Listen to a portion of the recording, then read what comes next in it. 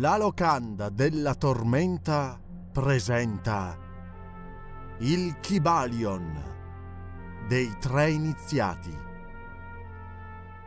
Buon ascolto.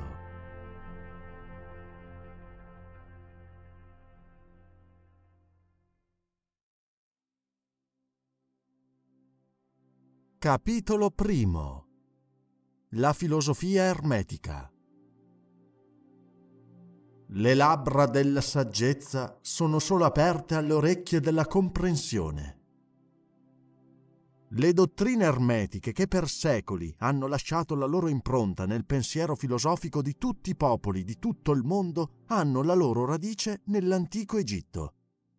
Ivi, tra piramide e sfinge, nacquero le dottrine mistiche della sapienza eterna, dalle cui fondamenta mosse ogni altro insegnamento proveniente dall'India, dalla Persia, dalla Caldea, dalla Media, dalla Cina, dal Giappone, dall'antica Grecia e da Roma.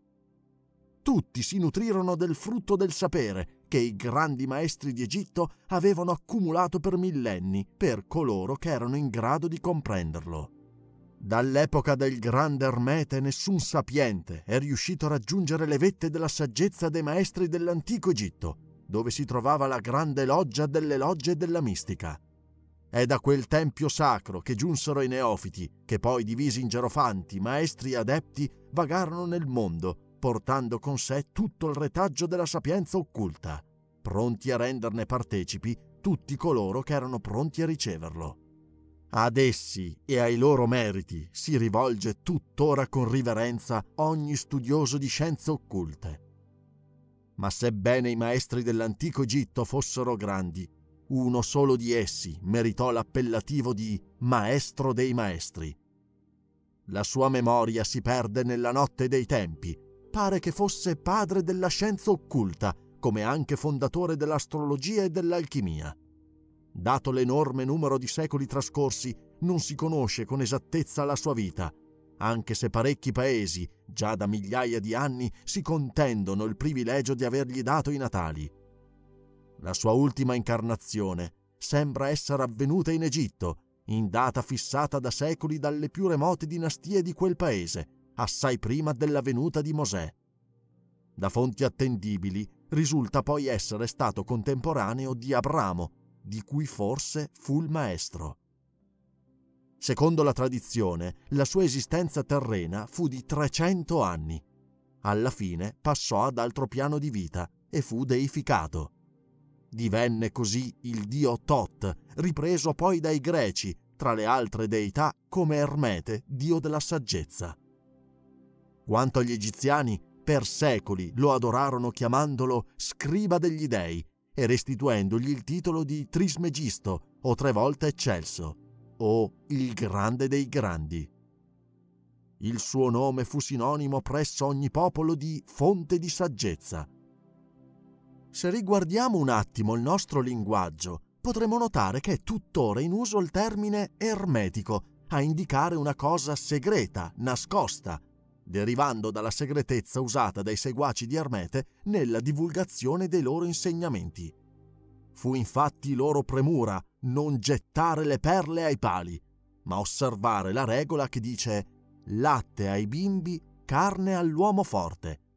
Massime, del resto, ben nota ai lettori delle sacre scritture cristiane, già in uso parecchi secoli prima. È questa una sua riservatezza, la caratteristica tutt'oggi più saliente della dottrina ermetica. Essa pur diffondendosi in ogni paese o religione, non ne prese nessuno come fissa dimora, dato il pericolo, espresso dai primi maestri, di cristallizzarla in un credo fisso. Questo fu un consiglio ben saggio se si guarda all'antico occultismo indo e persiano, che si imbastardì e andò quasi completamente distrutto, perché i maestri si trasformarono in preti e mischiarono teologia e filosofia, degenerando nella superstizione e nelle sette religiose.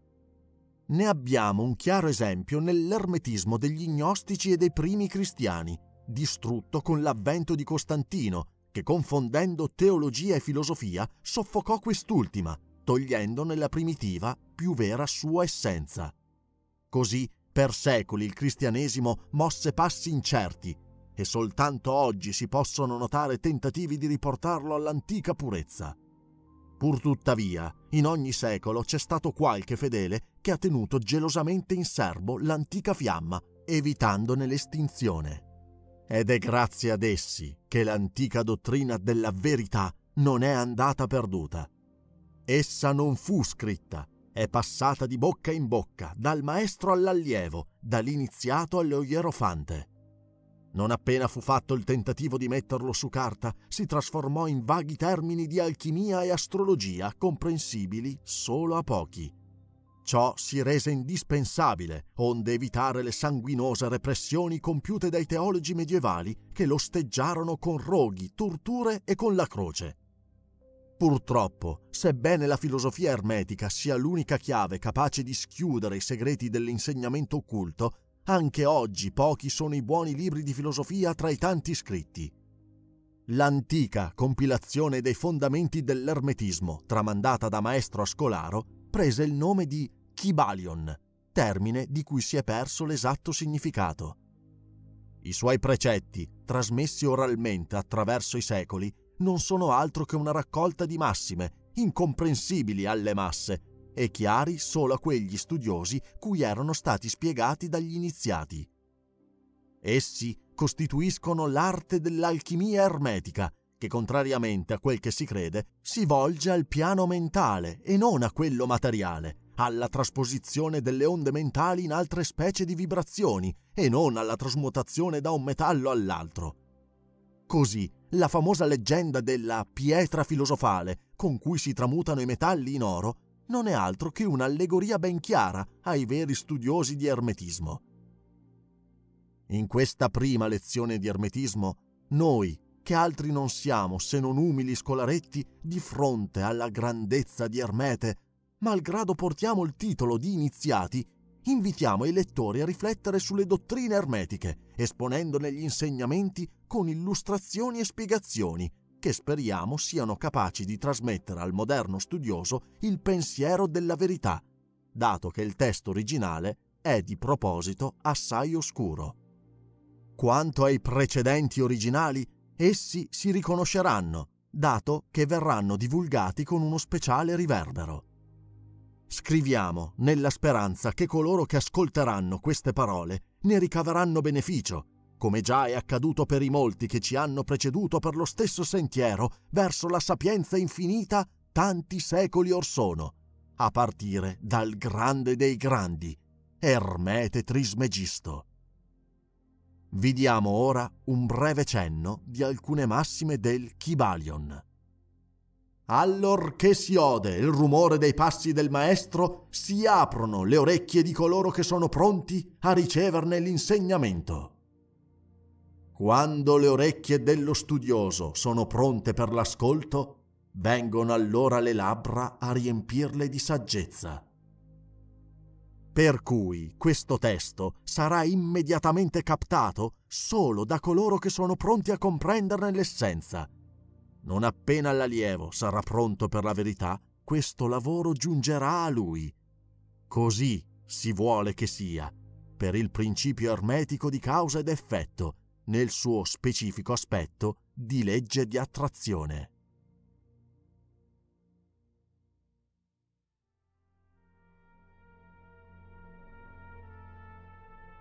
Capitolo secondo. I sette principi ermetici.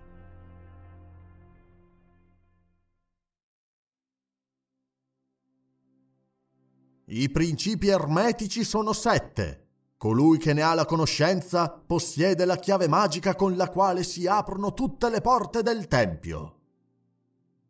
Questi sono i sette principi su cui si basa tutta la filosofia ermetica. Il primo è il principio del mentalismo. Il secondo è il principio della corrispondenza. Il terzo è il principio delle vibrazioni.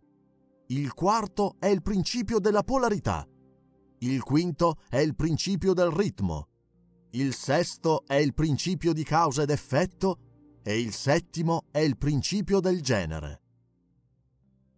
Ve ne daremo ora solo alcuni cenni, ripromettendoci di spiegarli più esaurientemente nel corso di queste lezioni. 1. Il principio del mentalismo. Tutto è mente, l'universo è mentale. Secondo questo principio, il tutto, ovvero quella realtà esistenziale che sta alla base di ogni manifestazione esterna, generalmente definita come fenomeno vitale, materia, energia, insomma, tutto ciò che percepiamo coi sensi materiali, non è altro che spirito inconoscibile, che sebbene non definibile può essere considerato come mente universale, vivente e infinita. Tutto l'universo quindi non è che una creazione mentale del tutto, soggetto alle sue leggi.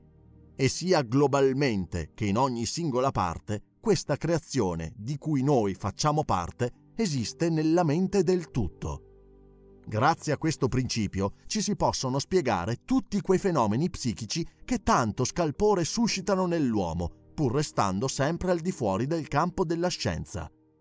Comprenderlo significa rendersi capaci di usare le leggi dell'universo mentale a proprio vantaggio, difendendosi dal pericolo di usarle in maniera causale.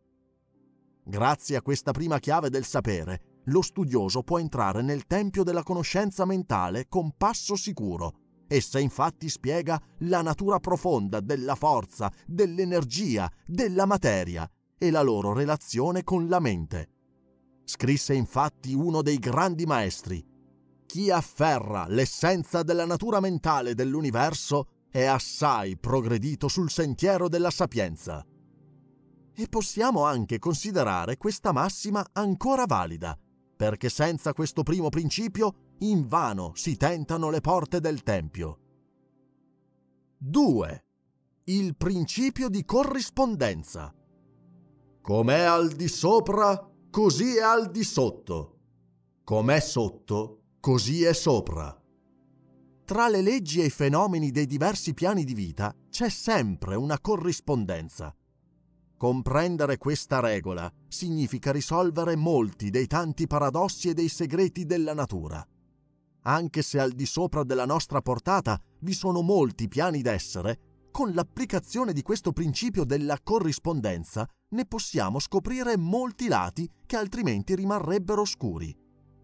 Inoltre, essendo questa una legge universale, essa vale su tutti i piani, materiale, mentale e spirituale.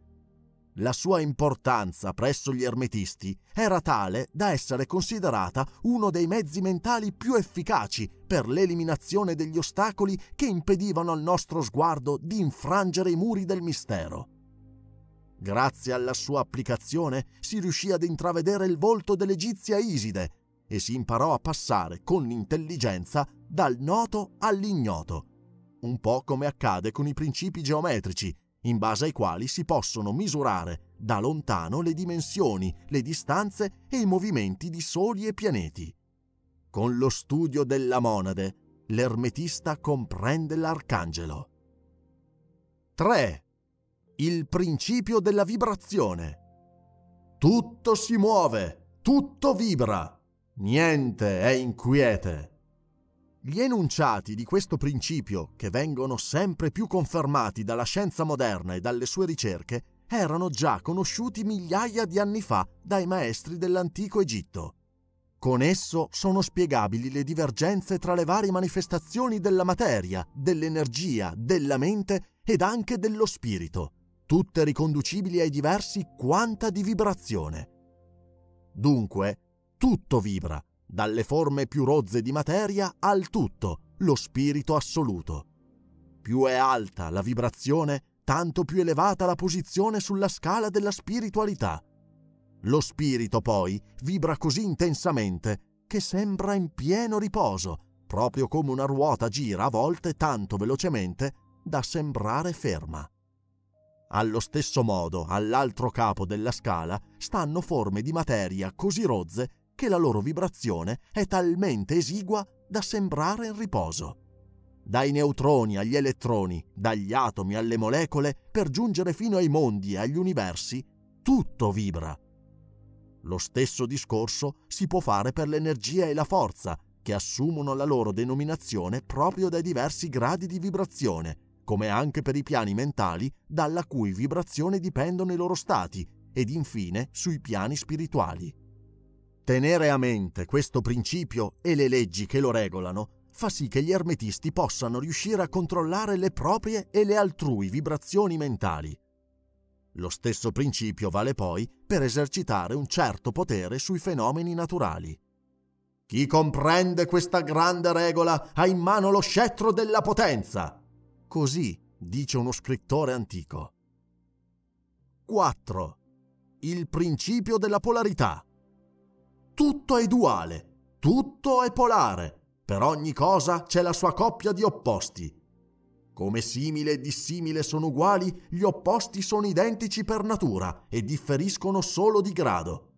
Così gli estremi si toccano tutte le verità non sono che mezze verità e ogni paradosso può essere conciliato. Grazie a questo antichissimo assioma ermetico si può avere una spiegazione per quei paradossi che per tanto tempo hanno tenuto in dubbio l'uomo e che possono essere così esplicati. Tesi e antitesi hanno uguale natura, ma sono diverse per grado. Oppure anche gli opposti sono identici, differiscono solo di grado, così che possono venire conciliati e gli estremi finiscono col toccarsi. Nello stesso tempo ogni cosa è e non è, ogni verità non è che mezza verità. Tutte le verità sono per metà false, ogni cosa ha due lati, e così via. Sono questi esempi della polarità di tutto ciò che è in natura, del fatto che gli opposti non sono altro che i due estremi della stessa cosa, ma con diverse variazioni di grado, proprio allo stesso modo in cui caldo e freddo, consistendo la loro diversità solo in differenza di grado, sono in realtà identici, sebbene opposti. Potete, forse voi, guardando il vostro termometro, scoprire dove termina il caldo e comincia il freddo? Niente esiste di caldo o freddo assoluto. Sia l'uno che l'altro termine stanno per diversi gradi della stessa cosa, che a sua volta non è che una variante ed un grado di vibrazione, per cui dire caldo o freddo non è altro che il riferirsi rispettivamente ai due poli della stessa cosa. Anche nel caso della luce e dell'oscurità vale lo stesso discorso. Esse sono uguali, consistendo la loro differenza nella diversità di grado manifestatesi tra i due estremi del fenomeno. Chi può dire infatti dove termina l'oscurità e dà inizio la luce? Quale differenza esiste tra il grande e il piccolo, o il duro e il tenero, il bianco e il nero, l'acuto e l'ottuso, il movimento e la quiete, l'alto e il basso, il negativo e il positivo? Ognuno di questi paradossi ha la sua spiegazione nel principio di polarità e solo in esso. Un discorso analogo può essere fatto per il piano mentale. Ad esempio, esaminiamo l'amore e l'odio. Sono questi stati mentali, a prima vista, del tutto all'antitesi. Malgrado ciò, tra i vari gradi di odio e di amore c'è un punto intermedio in cui diciamo piacere o dispiacere, o anche né l'uno né l'altro. Per capire che ognuno di essi si riferisce alla stessa cosa, basta riflettere un attimo. Inoltre, tenetelo bene a mente, perché è questa una regola di capitale importanza per gli ermetisti, si possono cambiare le vibrazioni d'odio in quelle d'amore e viceversa, e non solo nel proprio spirito. È probabile che molti fra coloro che ascoltano queste parole abbiano avuto un'esperienza diretta della rapidità con cui si può passare dall'amore all'odio e da questo all'amore. Essi si saranno certamente resi conto che ciò è possibile grazie all'uso della volontà, ovvero con l'ausilio di insegnamenti ermetici. Bene e male, abbiamo detto, non sono che i poli della stessa cosa e nessuno quanto uno studioso ermetico è a conoscenza dell'arte di trasmutare il male in bene, in base all'applicazione del principio polare. Per concludere, l'arte della polarizzazione finisce col divenire una fase dell'alchimia mentale, nota e praticata dai maestri antichi e attuali. Rendersi padroni di questo principio significherà per ognuno poter invertire la propria polarità ed anche quella altrui, naturalmente dopo una lunga applicazione ed uno studio adeguato. 5. Il principio del ritmo. Ogni cosa fluisce e rifluisce, ogni cosa ha fasi diverse. Tutto s'alza e cade. In ogni cosa è manifesto il principio del pendolo. L'oscillazione di destra è pari a quella di sinistra. Tutto si compensa nel ritmo. È questo il principio con il quale si comprende che in ogni cosa c'è un movimento, un moto che rifluisce, una simmetria eterna tra i due poli. Così esisterà sempre per ogni azione una reazione, per ogni innalzamento un abbassamento. Ciò vale per ogni cosa, per i pianeti, i soli, l'energia e la materia, come per gli uomini, gli animali e la mente. La potenza di questo principio regolatore può rinvenirsi nella creazione, nella distruzione dei mondi, nello sviluppo e nella corruzione dei popoli, ed anche negli stati mentali umani, grazie ai quali l'ermetista comprende il principio più importante e riesce a neutralizzarne gli effetti. Ciò avviene per mezzo della legge mentale della neutralizzazione. Se non si può annullare il principio, o almeno arrestarlo, si può sfuggire in parte ai suoi effetti. Questa è l'arte degli ermetisti. Compreso il principio, imparare ad usarlo invece che subirlo. Quindi, se l'ermetista si polarizza su un certo punto, neutralizza la forza ritmica del pendolo, che oscillando tenderebbe a condurlo all'altro polo. Se è vero che quasi tutte le persone che hanno raggiunto un certo autocontrollo riescono ad esercitare in parte questa funzione, il maestro lo fa volontariamente, raggiungendo quel grado di equilibrio e forza mentale che risulta incredibile alla massa, sempre oscillante proprio come un pendolo. I metodi d'uso, controazione e neutralizzazione del principio di polarità e di quello del ritmo formano una delle parti più importanti dell'alchimia mentale ermetica. 6. Il principio di causa ed effetto. Ogni effetto ha la sua causa, ogni causa ha il suo effetto. Tutto avviene in conformità di una legge. Il caso è il nome dato a una legge che non si conosce. Pur se esistono diversi piani di causalità, niente sfugge alla legge. Cioè, tutto avviene secondo una legge. Non esiste il caso. Se ci sono diversi piani di causalità per i quali i più alti dominano gli infimi, pur tuttavia nulla può sfuggire del tutto alla legge. Grazie alla conoscenza dell'ermetismo ci si può innalzare al di sopra del normale piano di causa ed effetto, almeno entro certi limiti, tanto da diventare causanti. Ben sappiamo che le masse sono condizionate dall'ambiente, tanto da essere mosse secondo gli altrui desideri come pedine di scacchi, vinte da mille cause esterne. Ma coloro che giungono al piano superiore riescono a dominare il proprio carattere, i propri stati d'animo, le proprie emozioni e quindi tutto ciò che li circonda, diventando causa anziché pedina. Essi possono dire di giocare la partita della vita e non di essere giocati. Essi usano il principio, non ne sono gli attrezzi. Seppure obbediscono ai piani di causalità a loro superiori, dominano sul loro. In queste parole è condensata la grande ricchezza della disciplina ermetica. Chi lo può ne approfitti. 7. Il principio del genere. Il genere si manifesta in ogni cosa e su tutti i piani. Ogni cosa ha il suo principio maschile e femminile. Scopriamo ora che in ogni cosa è un genere. Ovunque troviamo il maschile o il femminile.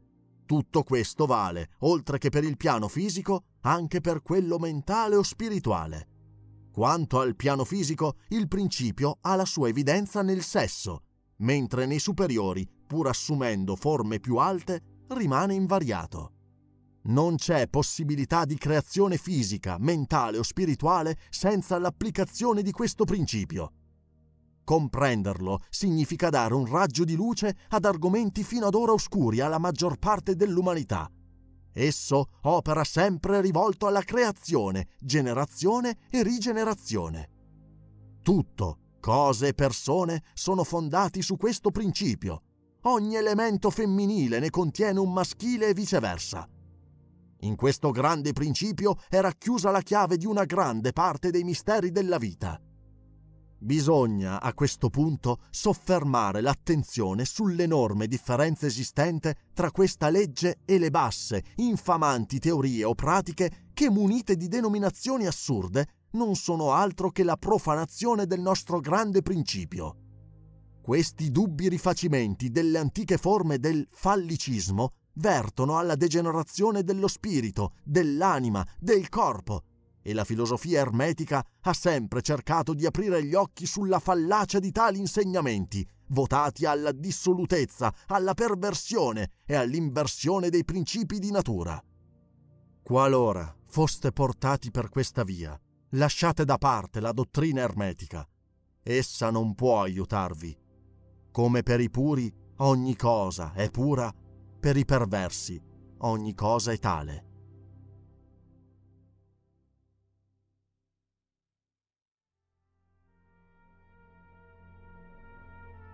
Capitolo terzo. Trasmutazione mentale.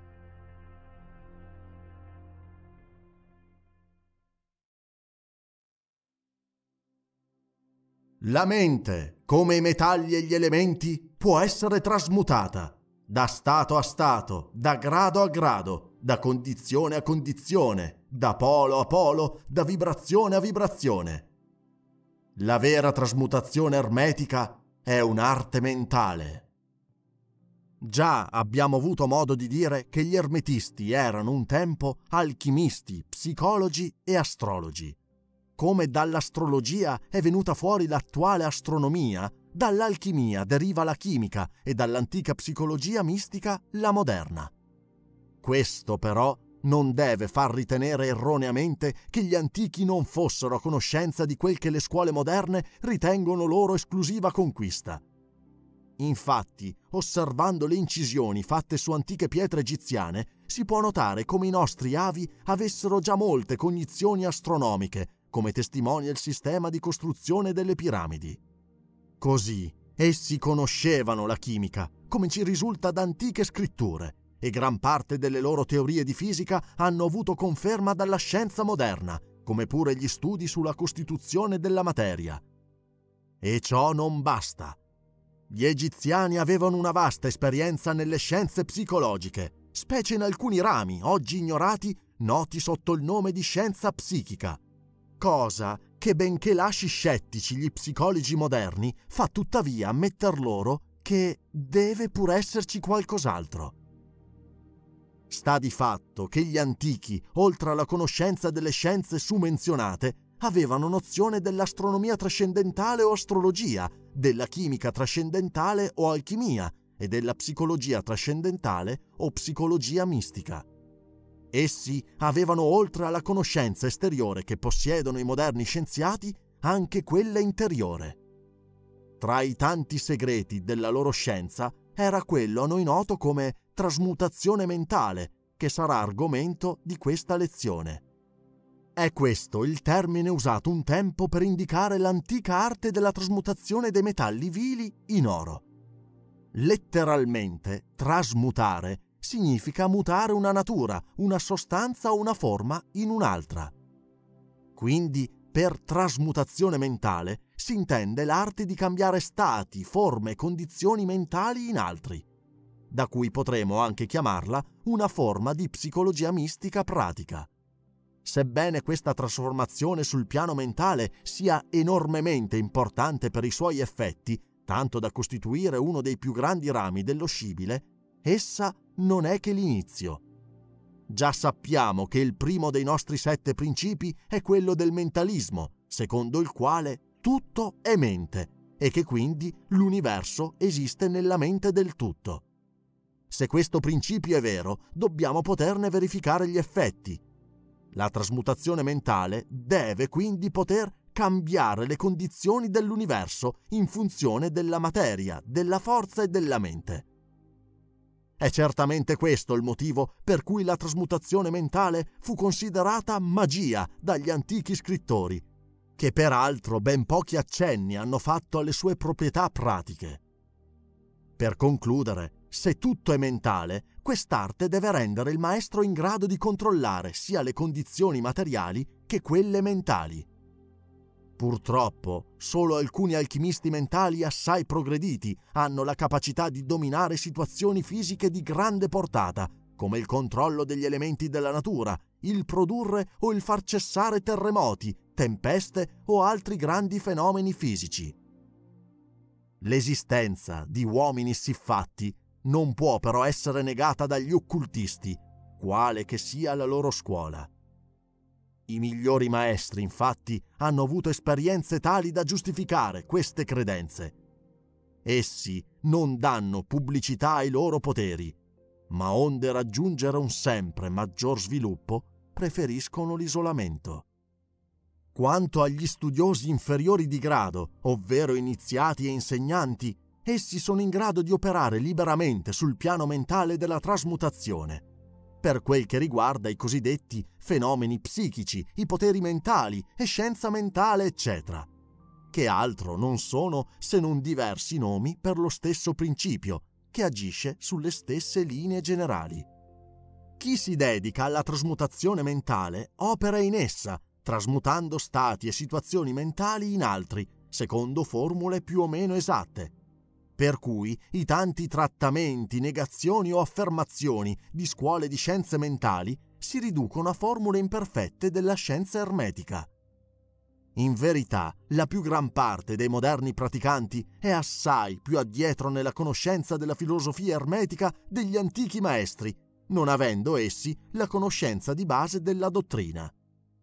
Per chi conosce questi metodi è possibile cambiare non solo il proprio stato mentale, ma anche l'altrui, il che normalmente avviene a livello subconsciente, ma a volte anche volontariamente, con la comprensione di leggi e principi se non si ha la capacità di neutralizzare degli effetti che si tenta a far ricadere su di loro. Molti studiosi della scienza mentale moderna sanno ormai che con un desiderio intenso e molta concentrazione si può trasmutare qualsiasi condizione materiale dipendente da altre menti. Ma essendo il pubblico oggi informato di queste cose, non riteniamo opportuno soffermarvisi oltre, volendo solo mostrare i principi ermetici che sono la base di queste applicazioni pratiche, buone o cattive che siano, essendo, grazie alla polarità, possibile usarle in opposte direzioni. Passiamo ora a considerare il primo dei principi ermetici, quello del mentalismo, per il quale tutto è mente. Confidiamo nella più viva attenzione da parte dei lettori, in quanto questo è il principio fondamentale di tutta la scienza ermetica.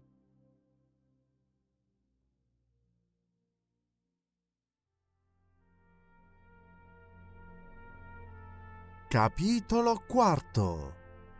Il tutto.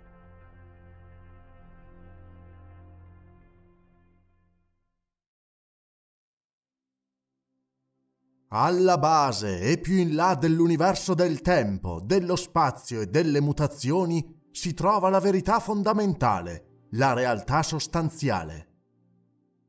Alla base e oltre ogni impressione e manifestazione esterna c'è sempre una realtà sostanziale, sempre. Questa è la legge eterna.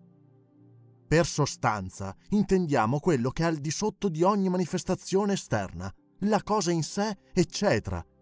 Quindi con sostanziale si vuole indicare lo stato di ciò che è reale, ovvero fisso, stabile, vero, eccetera. Quando l'uomo prende in considerazione il suo universo, riesce a vedere solo i cambiamenti nella materia, nelle forze e negli stati mentali. Osserva che in realtà nulla è, ma tutto cambia, tutto diviene. La legge del ritmo è sempre presente. Niente è inquiete. Ogni cosa nasce, si sviluppa e muore. Nell'attimo in cui qualcosa perviene al culmine del suo splendore, già comincia inesorabilmente a decadere. Non esiste una realtà, una fissità, uno stato permanente. Niente resta immutato, tranne il cambiamento. ogni cosa si evolve, tutto si risolve in altro. Sono e saranno sempre azioni e reazioni, flussi e riflussi, morte. Nulla resta, tranne il cambiamento. Ma l'uomo, quale essere pensante, comprende che tutte queste mutazioni non sono che apparenze esterne, la manifestazione di una realtà sostanziale, della potenza che è al di sotto delle cose. In ogni tempo, in ogni nazione, i grandi pensatori riconoscono l'esistenza di questa grande realtà. Tutte le filosofie serie hanno per base tale pensiero, pur avendolo chiamato in vari modi. Alcuni lo dicono deità, altri energia infinita, altri ancora materia. Tutti però sono d'accordo nel riconoscerne l'esistenza. Si tratta di una realtà così evidente che non ha bisogno di commenti. Come già molti prima di noi, abbiamo voluto chiamare questo grande potere, quest'immensa forza sottostante col nome di tutto, con cui si indica il più capiente dei termini usati dall'uomo per ciò che trascende nomi e termini. Poiché accettiamo la dottrina dei più grandi pensatori ermetici di ogni tempo e quella delle anime che hanno raggiunto i piani di esistenza più elevati, ci uniamo a loro nell'affermare che la natura profonda del tutto è inconoscibile. Così è e sarà, perché a nessuno è dato di comprendere l'essere del tutto. I veri ermetisti sanno che le teorie, le ipotesi, le speculazioni dei metafisici e dei teologi non sono che sforzi infantili delle deboli menti mortali per tentare di spiegare i segreti dell'infinito. Ma data la difficoltà e la natura del compito intrapreso, tutti questi tentativi sono sempre destinati a fallire, perché chi si dedica a questi studi si perde nel labirinto del pensiero e tutta la sua logica lo condurrà in un vicolo cieco, come fosse al punto di partenza tanto da mostrargli che non è in grado di capire i misteri della vita. Così sono da considerare ancora più presuntuosi quelli che pretendono di ascrivere al tutto la loro personalità, le proprie qualità, i propri attributi. Tutte cose che riguarderebbero il tutto, in quanto suscettibili di sentimenti, sensazioni, caratteristiche umane e anche delle più turpe sue qualità, come il desiderio di potenza sugli altri, di lode continue, di venerazione e ogni altro aspetto infantile della nostra razza. Idee queste del tutto indegne dell'uomo e come tali da rigettare. Si rende ora necessaria la distinzione esistente tra filosofia, religione e teologia. Noi diamo alla religione il carattere di rivelazione intuitiva dell'esistenza del tutto e delle sue relazioni con l'umana specie mentre la teologia altro non è se non quell'insieme di tentativi da parte dell'uomo di attribuire personificazione, caratteristiche e qualità al tutto, escludendo la sua vera natura, mediante teorie riguardanti il suo essere, i suoi desideri e i suoi disegni, e risolvendo così la necessità di intermediari fra esso e gli individui. Per noi, Filosofia vuol dire ricerca del significato di cose conoscibili e alla nostra portata, mentre al contrario la metafisica opera oltre i limiti del conoscibile, con un piano di azione del tutto simile a quello teologico. Ne consegue che per noi sia la religione che la filosofia vanno intese come dottrine aventi il loro fondamento nella realtà. Al contrario, teologia e metafisica non sono altro che vuote formule, che affondano le loro radici nella sabbia dell'ignoranza, ben povero appoggio per le deboli menti umane. Con ciò non vogliamo convincere i nostri lettori ad accettare queste dottrine, le stiamo solo esponendo per mostrare il nostro punto di vista. Ma malgrado la vera natura del tutto sia inconoscibile, pure vi sono alcune verità essenziali in rapporto stretto con esso che noi non possiamo ignorare. Esaminarle è parte precipua del nostro compito, specie se si tiene conto che esse concordano perfettamente con quanto fu detto dai sapienti più illuminati dei più alti piani. Ve ne mostriamo ora alcune. Ciò che è la realtà sostanziale non può essere nominato, ma i saggi lo chiamano il tutto. Nella sua essenza il tutto è inconoscibile La voce della ragione deve essere accolta nel migliore dei modi e trattata col dovuto rispetto. In base alla nostra ragione possiamo notare quel che ora esporremo, pur senza invadere l'inconoscibilità del tutto. 1. Poiché per sua natura nulla può esistere al di fuori del tutto, esso deve essere ciò che realmente è. 2. Il tutto è infinito Nulla può delimitare, definire, costringere, limitare il tutto, essendo questi eterno o infinito nel tempo, poiché è sempre esistito. Nulla può averlo creato e noi sappiamo che niente può derivare, evolversi dal nulla. Se non fosse mai stato, fosse anche per un solo attimo, neppure ora potrebbe essere. Quindi esso non potrebbe essere sempre esistito se da nulla può essere distrutto né per un istante potrebbe cessare d'essere, poiché qualcosa non può divenire nulla, mai. E ancora non può esserci luogo al di fuori del tutto, quindi deve essere infinito nello spazio e dovunque. Così deve essere ininterrotto nello spazio, continuo, senza separazione o rottura, poiché niente esiste che possa interrompere la sua continuità né d'altra parte esisterebbe qualcosa capace di colmare sue eventuali fessure. E dato che non esiste nulla che possa costringerlo, limitarlo, condizionarlo, restringerlo o interferire con lui, si può dedurre che è potenzialmente infinito in se stesso e quindi assoluto. Nessuna potenza potrebbe assoggettarlo, poiché nessun potere esiste al di fuori del suo. 3. Se è vero come è vero che nulla vi è che possa operare dei cambiamenti, nulla in cui potrebbe cambiarsi o da cui essere cambiato, il tutto deve essere immutabile nella sua essenza più profonda. Infatti non si può aumentarlo né diminuirlo oppure distruggerlo, e in nessun modo si può farlo divenire più piccolo o più grande di quel che non sia. Esso è sempre stato e sempre rimarrà com'è immutato nel tempo e non è mai esistito un qualcosa che potesse alterarlo e né vi sarà mai.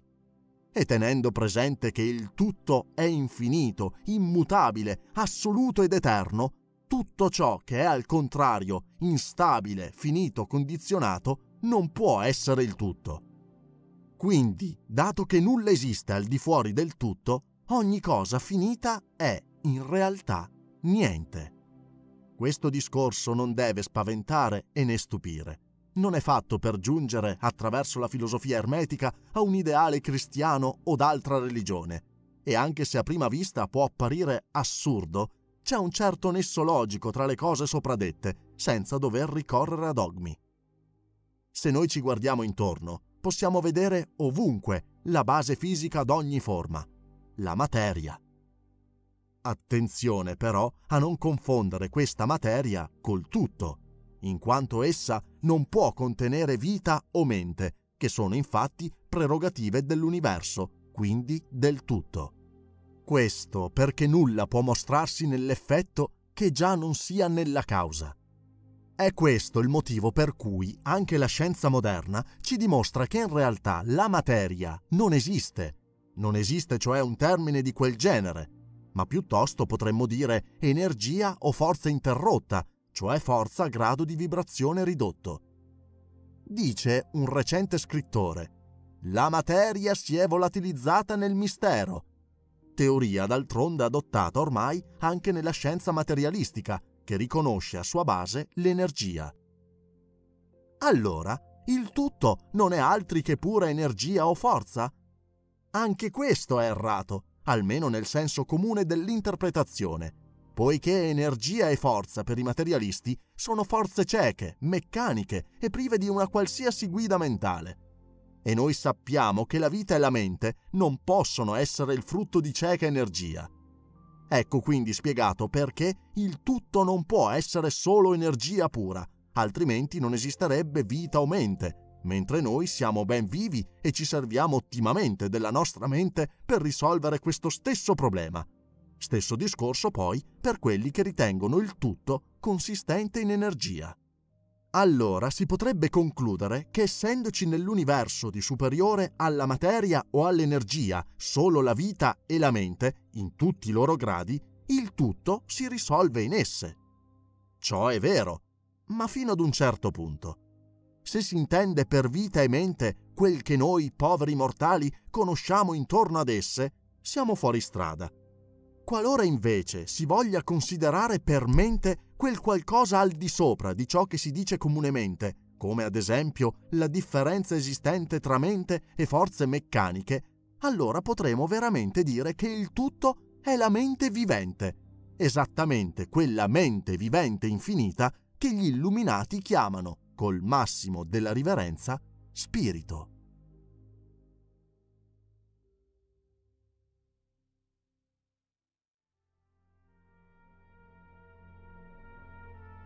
Capitolo V L'universo mentale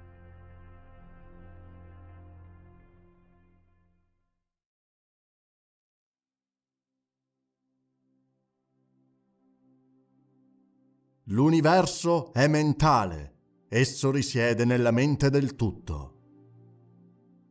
Abbiamo detto che il tutto è spirito, ma in realtà che è lo spirito?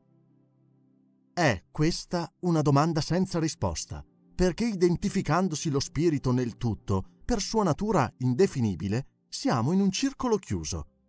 Possiamo solo dire che lo spirito è il nome che l'uomo dà alla sua più alta concezione della mente vivente infinita. Esso vuol dire essenza reale ed è del tutto superiore alla vita e alla mente come noi le conosciamo. Poiché trascende la nostra comprensione, noi usiamo questo termine all'unico scopo di poter parlare o pensare al tutto. È questo l'unico motivo per il quale siamo autorizzati a pensarlo come mente vivente infinita, pur riconoscendo di non poterlo comprendere appieno. Senza questa premessa è impossibile procedere nell'argomento. Ora passiamo a considerare la natura dell'universo come insieme e distinguendolo per parti. Già abbiamo osservato che nulla può esserci al di fuori del tutto, né però l'universo può essere tutto, in quanto esso sembra consistere in molteplici parti e in costante evolversi. La prima conclusione che ci verrebbe fatto di fare è che se l'universo non è commensurabile al tutto, sarà quindi il nulla, ma con ciò non si può certo dire di aver risolto il problema, ma solo di averlo eluso, poiché noi abbiamo il senso dell'esistenza dell'universo. E se non è il nulla, né il tutto, cos'è? Naturalmente bisogna osservare che se l'universo esiste, o almeno sembra esistere, non può provenire dal tutto, ed è quindi una sua creazione. Ma conservando il principio che nulla può nascere dal nulla, cosa può avere creato il tutto? C'è tra i filosofi chi dice che il tutto ha creato l'universo da se stesso, cioè facendolo derivare dalla sua essenza.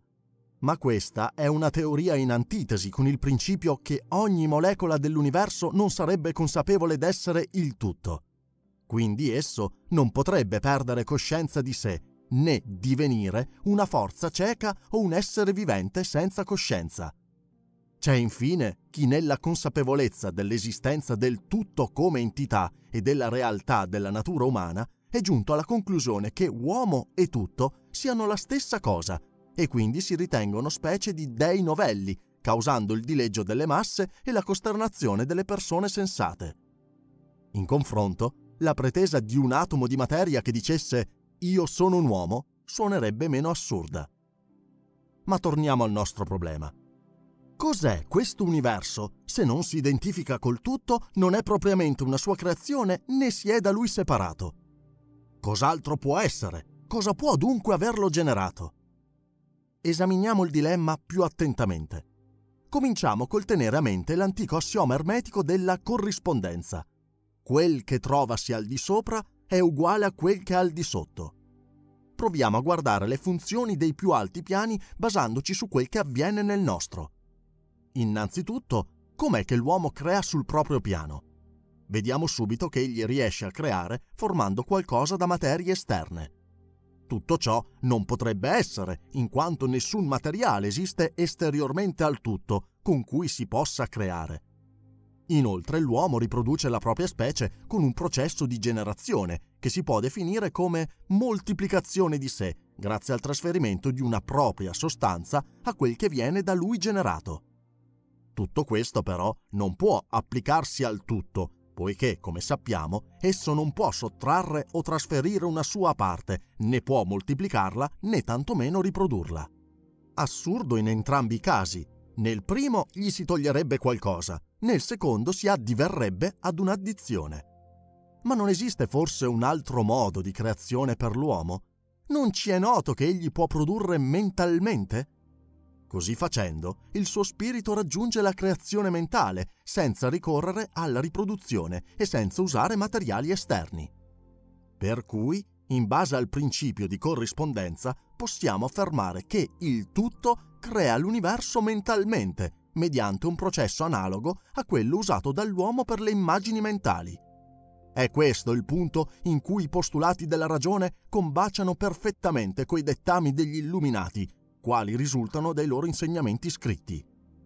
Quindi gli insegnamenti dei saggi sono uguali a quelli di Ermete. Non possiamo dunque razionalmente giungere ad una conclusione diversa da questa, che il tutto non può creare che mentalmente, cioè senza impiego di alcun materiale o mediante riproduzione. Il processo usato dal tutto nella creazione degli universi è in fondo simile a quello con cui mentalmente noi ci creiamo un nuovo mondo. La differenza è che mentre il nostro è una creazione di una mente finita, l'altro è di una mente infinita, superiore, e se sono quindi simili nella specie, differiscono infinitamente per grado importantissimo è tener presente che l'universo e tutto ciò che contiene altri non è se una creazione mentale del tutto, poiché in verità tutto è mente. Nella sua mente infinita il tutto crea moltissimi universi che esistono per tempi diversi nell'ordine dei millenni. Ma per il tutto, creazione, sviluppo, regresso e morte di un miliardo di universi non ha durata maggiore dell'aprirsi e chiudersi di un occhio. La mente infinita del tutto è la fattrice degli universi. Come già abbiamo avuto occasione di osservare, il principio del genere, pur manifestandosi su tutti i piani di esistenza, mentale, spirituale e materiale, non va confuso col sesso, che è soltanto una manifestazione materiale del genere. Per genere si deve quindi intendere relativo a generazione o a creazione. Perciò, ovunque avvenga una creazione o generazione, questo principio non può non manifestarsi. Ciò è applicabile anche alla creazione degli universi. Non si deve però concludere che noi insegniamo che c'è un creatore o Dio maschio e femmina. Tale teoria non è che una deformazione degli antichi insegnamenti sull'argomento. La verità è che il tutto in se stesso è al di sopra di ogni legge quindi di quella del tempo, dello spazio e anche di quella del genere. Esso è legge da cui derivano tutte le altre e non può essere soggetta ad alcuna di esse. Bisogna dire invece che quando il tutto si manifesta sul piano della generazione o creazione, opera secondo questo principio, in quanto si muove su un piano d'essere più basso. Ne consegue quindi che esso manifesta il principio del genere nei suoi aspetti, maschile e femminile. Il tutto avviene naturalmente sul piano mentale. Forse questa è una teoria che può sembrare strabiliante a chi ne sente parlare per la prima volta, mentre in realtà essa viene comunemente accettata nei pensieri di ogni giorno. Non si parla forse giornalmente della paternità e della maturità di Dio come pura della natura madre universale? Così dicendo, si riconosce per valido il principio del genere nell'universo. Va peraltro notato che il principio del genere non implica una vera e propria dualità. Il tutto è uno solo, pur se si manifesta sotto i due aspetti. Il principio maschile che il tutto manifesta rimane, in un certo senso, separato dall'effettiva creazione mentale dell'universo la sua volontà viene proiettata verso il principio femminino o natura e soltanto da questo ha inizio il vero lavoro di evoluzione dell'universo che dai più semplici centri di attività giunge all'uomo e poi ad entità sempre più alte, sempre rispettando le leggi fisse e improrogabili della natura.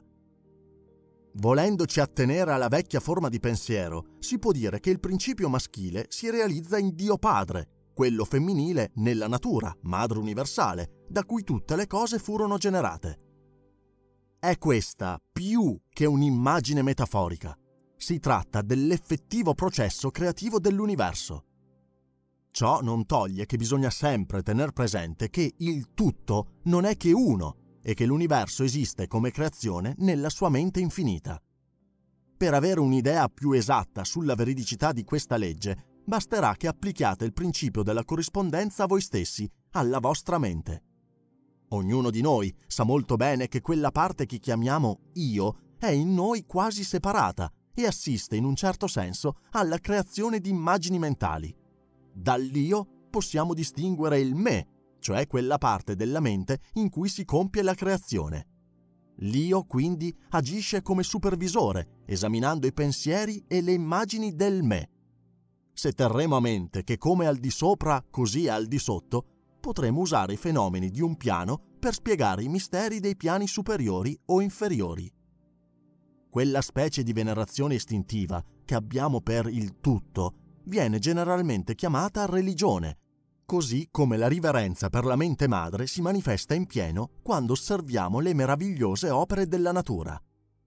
È questo un sentimento che ha le sue radici nella parte più riposta del nostro intimo, perché ci deriva proprio dalla mente madre, dalla quale siamo attratti come il bimbo che si stringe al seno della mamma. Ma non bisogna lasciarsi ingannare nella supposizione che questo piccolo mondo in cui viviamo e che non è che un granello di polvere sperduto nello spazio sia l'immenso universo. Nella mente infinita del tutto risiedono miliardi di universi e anche di mondi più grandi del nostro.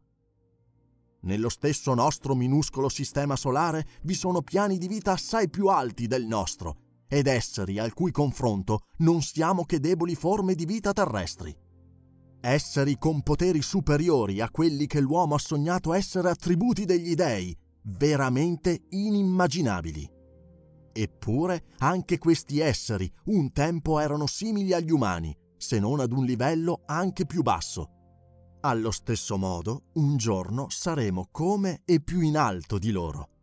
Questo, dicono gli illuminati, è il destino umano, poiché la morte non ha nulla di reale è solo nascita a nuova vita, elevazione sempre più rapida a piani vitali sempre più alti, nell'immensità del tempo. Poiché l'universo è la nostra ultima dimora, prima che il tempo abbia fine, lo percorreremo interamente. Le nostre possibilità proiettate nel futuro sono immense, dato che abitiamo nell'infinitamente del tutto, che ci rende infiniti nel tempo e nello spazio. Quando poi il tutto finito il ciclo di eoni, deciderà di riportare a sé tutte le sue creazioni, raggiungeremo il massimo dell'elevazione, saremo una cosa sola col tutto, avremo in mano la verità. Coloro che più illuminati sono assai avanti nel sentiero, questo ci dicono. In attesa di ciò dobbiamo vivere sereni, perché protetti dall'immensa potenza della mente, madre e padre. Entro la mente madre padre i mortali sono al sicuro. Nell'universo nessuno è senza padre e senza madre.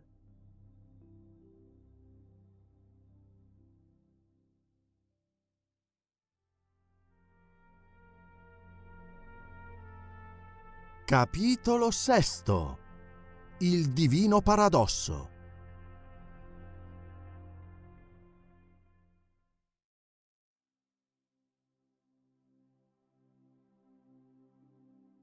I mezzi saggi, che riconoscendo la parte di irreale che è nell'universo, credono di poterne infrangere le leggi, sono in realtà soltanto degli sciocchi, che per la loro pazzia finiranno con lo spaccarsi la testa sulle rocce, vinti dagli elementi. I veri saggi invece, che sanno qual è la natura dell'universo, usano la legge contro le leggi, ciò che è più elevato contro quel che è più in basso, e riescono a tramutare l'indegno in degno, con l'alchimia mentale. È per tutto ciò che essi sono dei vincitori. Le conoscenze più alte non consistono in strani sogni, assurde visioni o immagini fantastiche, ma nel sapersi servire delle energie più alte contro le più basse, sottraendosi alle sensazioni dolorose dei piani più bassi, con opportune vibrazioni sui più alti. La grande arma dei maestri è la trasmutazione, non la vana negazione. Quando il tutto dà inizio alle sue creazioni assieme al principio di polarità, si manifesta inequivocabilmente il paradosso dell'universo. Esser consapevoli di ciò significa oltrepassare la linea che separa i mezzi saggi dai saggi. Se per il tutto l'universo con le sue leggi, fenomeni, vita e potenza appare nello stato di sogno, di meditazione, per noi esseri finiti fa parte della realtà e ugual sorte hanno la vita, l'azione e il pensiero. E tutto ciò pur nella consapevolezza della sua natura immaginaria, mentale, ad ogni piano le sue leggi. Male sarebbe per l'universo se il tutto lo considerasse reale. Cesserebbe il continuo tendere verso l'alto, il divino, e l'universo diverrebbe un qualcosa di immobile, statico, privo di progresso. Chi si ostina a voler pensare all'universo come a qualcosa di irreale finisce per farlo divenire veramente tale, così che prende a vivere come un sonnambulo, girando sempre in tondo, per ritrovarsi al punto di partenza, finché, svegliatosi, si ritrova contuso e sanguinante per aver cozzato contro quelle leggi di natura che si è ostinato a ignorare. Rivolgete pure i vostri occhi alle stelle, ma non scordate di guardare dove mettete i piedi, potreste scivolare nel fango. Tenete a mente il divino paradosso, per cui l'universo, mentre non è, è tuttavia ricordate anche i due poli della verità, assoluto e relativo. Non lasciatevi convincere dalle mezze verità. Questa legge del paradosso ermetica non è altro che uno degli aspetti del principio di polarità, in riferimento al quale molte pagine sono state scritte dagli ermetici nella trattazione dei problemi di vita ed essere. I maestri, infatti, ricordano frequentemente ai loro discepoli di non lasciarsi tentare dall'errore di omettere in ogni problema l'altra parte e in particolar modo raccomandano molta attenzione coi problemi riguardanti l'assoluto e il relativo, il punto debole di ogni filosofo, che portano a pensare e ad agire quasi si fosse privi del più elementare senso comune. Da parte nostra, raccomandiamo a tutti gli interessati di scienze occulte la massima cautela per quel che concerne la comprensione del divino paradosso, onde non restino imbrigliati nella rete delle mezze verità. È al raggiungimento di questo scopo che verte particolarmente questa lezione, per cui tenete nel debito conto.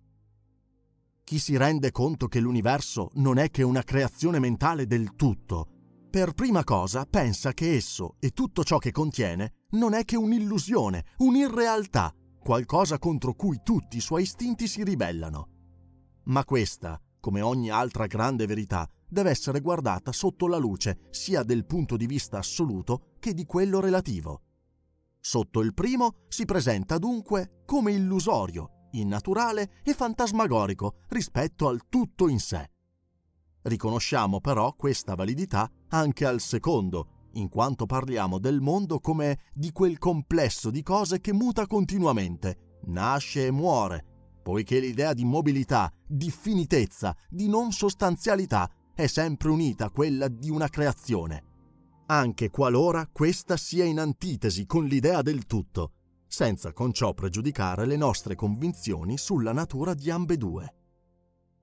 Tutti sono d'accordo su questo, il teologo, il metafisico, lo scienziato, il filosofo, e la stessa teoria è presente sotto ogni forma di pensiero filosofico o religioso, come anche nei postulati delle scuole di metafisica e di teologia. Per cui, sebbene il modo in cui il soggetto è mostrato ai lettori sia, seguendo gli insegnamenti ermetici, assai più strano e impressionante, predicando la non sostanzialità dell'universo, pure esso non differisce molto nella sua essenza da termini a voi molto più familiari. Per ogni corrente intellettuale o filosofica quel che ha un inizio e un termine non può non sembrare irreale o immaginario, data la sua finitezza. Quindi lo stesso ragionamento è applicabile anche all'universo. Per cui, basandoci sulla visione assolutistica, niente è reale tranne il tutto, senza con ciò pregiudicare il modo o la terminologia con i quali ci si può accostare all'argomento. Da ciò che l'universo sia o meno di materia, limitato nella sua durata o essenziale, esso è sempre un qualcosa formato da tempo, spazio e in incessante modificarsi. Prima di concepire un'idea sulla natura mentale dell'universo, è necessario tener conto di questo fatto, valido anche per ogni altra concezione. Ricordiamoci però che esiste anche il rovescio della medaglia, dato dal punto di vista relativo. Se la definizione della verità in assoluto è le cose come le conosce la mente di Dio, quella relativa sarà cose come sono viste e intese dall'uomo nelle sue più alte accezioni. Quindi l'universo è per il tutto irreale, frutto di sogno o di meditazione, mentre per le menti finite che fanno parte di questo stesso universo, esso non può non essere, in quanto visto da menti e poteri mortali, qualcosa di più che reale. Pur mantenendo come valida la visione assolutistica, bisogna anche ricordare che noi non siamo il tutto e che quindi non dobbiamo erroneamente ignorare o negare i fenomeni dell'universo come si presentano alle nostre menti umane. Ad esempio, ben sappiamo qual è, ai nostri sensi, la sensazione di esistenza della materia, e assai imbarazzante sarebbe affermare il contrario. Tutto questo anche se sappiamo che scientificamente non esiste quel qualcosa che chiamiamo con tanta sicurezza materia. In realtà noi diamo questo nome ad un aggregato di atomi, i quali a loro volta non sono che l'unione di ioni ed elettroni, cioè di unità di energia che vibrano in costante movimento circolare. Malgrado ciò, se noi diamo un calcio ad una pietra, ne sentiamo la resistenza come se fosse una materia fissa. Questo perché il piede è come la materia costituito di elettroni e quindi sente l'urto della massa e lo trasmette ai nostri centri nervosi, così che questa sensazione materiale raggiunga il nostro cervello. D'altra parte, è proprio grazie alla nostra mente che possiamo avere nozione del piede o della pietra. Lo stesso processo avviene al pittore o allo scultore quando tenta di riprodurre sulla tela o nel marmo quell'immagine ideale che a lui sembra reale. Analogamente avviene per i personaggi creati dalla mente dell'autore drammatico, quando cerca di esprimerli in modo che possano essere sentiti anche dagli altri. Ma se questa sensazione di realtà è così forte nelle nostre menti finite, immaginiamo come deve essere infinitamente più potente per quel che concerne le immagini mentali creati nella mente dell'infinito. Per noi mortali il nostro universo mentale è l'unica realtà di cui abbiamo nozione. Malgrado andiamo sempre più in alto, innalzandoci da piano a piano. Conoscerlo attraverso l'esperienza significherebbe essere il tutto. Naturalmente, più andiamo avanti sulla scala, più ci avviciniamo alla mente infinita, mentre diviene sempre più evidente la natura illusoria delle cose. Nonostante ciò, ne rimarrà una pur minima traccia finché il tutto non sarà giunto ad incorporarci. Evitiamo di soffermarci troppo sull'evidenza dell'illusione, ma riconosciamo invece per vera la natura dell'universo e le sue leggi mentali, che dobbiamo adoperare per ricavare gli effetti migliori nella nostra ascensione, onde passare più rapidamente ai piani supremi dell'essere. E non perché questo ha una natura mentale vengono meno le leggi dell'universo, poiché tutto, tranne il tutto, è soggetto ad esse. Quel che si trova nella mente infinita del tutto è reale proporzionalmente alla realtà propria della sua natura. Dato ciò, non bisogna mai essere insicuri o avere paura, poiché il tutto ci contiene nella sua mente infinita e da nessuna cosa abbiamo da temere, perché nulla ci può essere dannoso. Niente e nessuno tranne il tutto ci può toccare. Questa deve, come abbiamo detto, essere la nostra sicurezza, sempre che si sia compreso quanto sopra indicato. Questa deve, come abbiamo detto, essere la nostra sicurezza, sempre che si sia compreso quanto sopra indicato, ovvero la capacità di lasciarsi cullare dall'oceano della mente infinita, di addormentarsi con ogni conforto nella culla del profondo. Ricordiamo che nel tutto viviamo, agiamo ed abbiamo la nostra essenza. Non dobbiamo fare l'errore di considerare la materia meno materia solo perché sappiamo che essa è costituita di aggregati di elettroni e di energia in movimento rotatorio che vibrano incessantemente nelle formazioni atomiche. Così gli atomi nella loro vibrazione danno luogo alle molecole, che a loro volta formano strati di materie più grandi. Ma anche se ci rendiamo conto, grazie ai dettami ermetici, che le unità di elettroni costituenti le forze non sono altro che una manifestazione mentale del tutto, la materia continua ad avere per noi le antiche caratteristiche. Ma come fa gran parte dei maestri di ermetismo, pur riconoscendo sul loro piano i fenomeni materiali, vi riesce a controllare la materia con l'applicazione di energie di specie più elevata? Negare l'esistenza della materia, nell'aspetto relativo, sarebbe pura follia. Si può non riconoscere il suo dominio su di noi, ed è giusto che sia così, ma non si può ignorarlo nel suo aspetto relativo, almeno finché sostiamo sul suo piano. Allo stesso modo, il sapere che le leggi di natura sono semplicissime creazioni mentali non toglie nulla alla loro costanza o alla loro efficienza il loro effetto si manifesta su diversi piani. Noi impariamo a servirci delle leggi più basse applicando quelle più alte. Ne abbiamo altro mezzo per ottenere lo stesso effetto, però non possiamo sfuggire definitivamente alla legge o superarla completamente.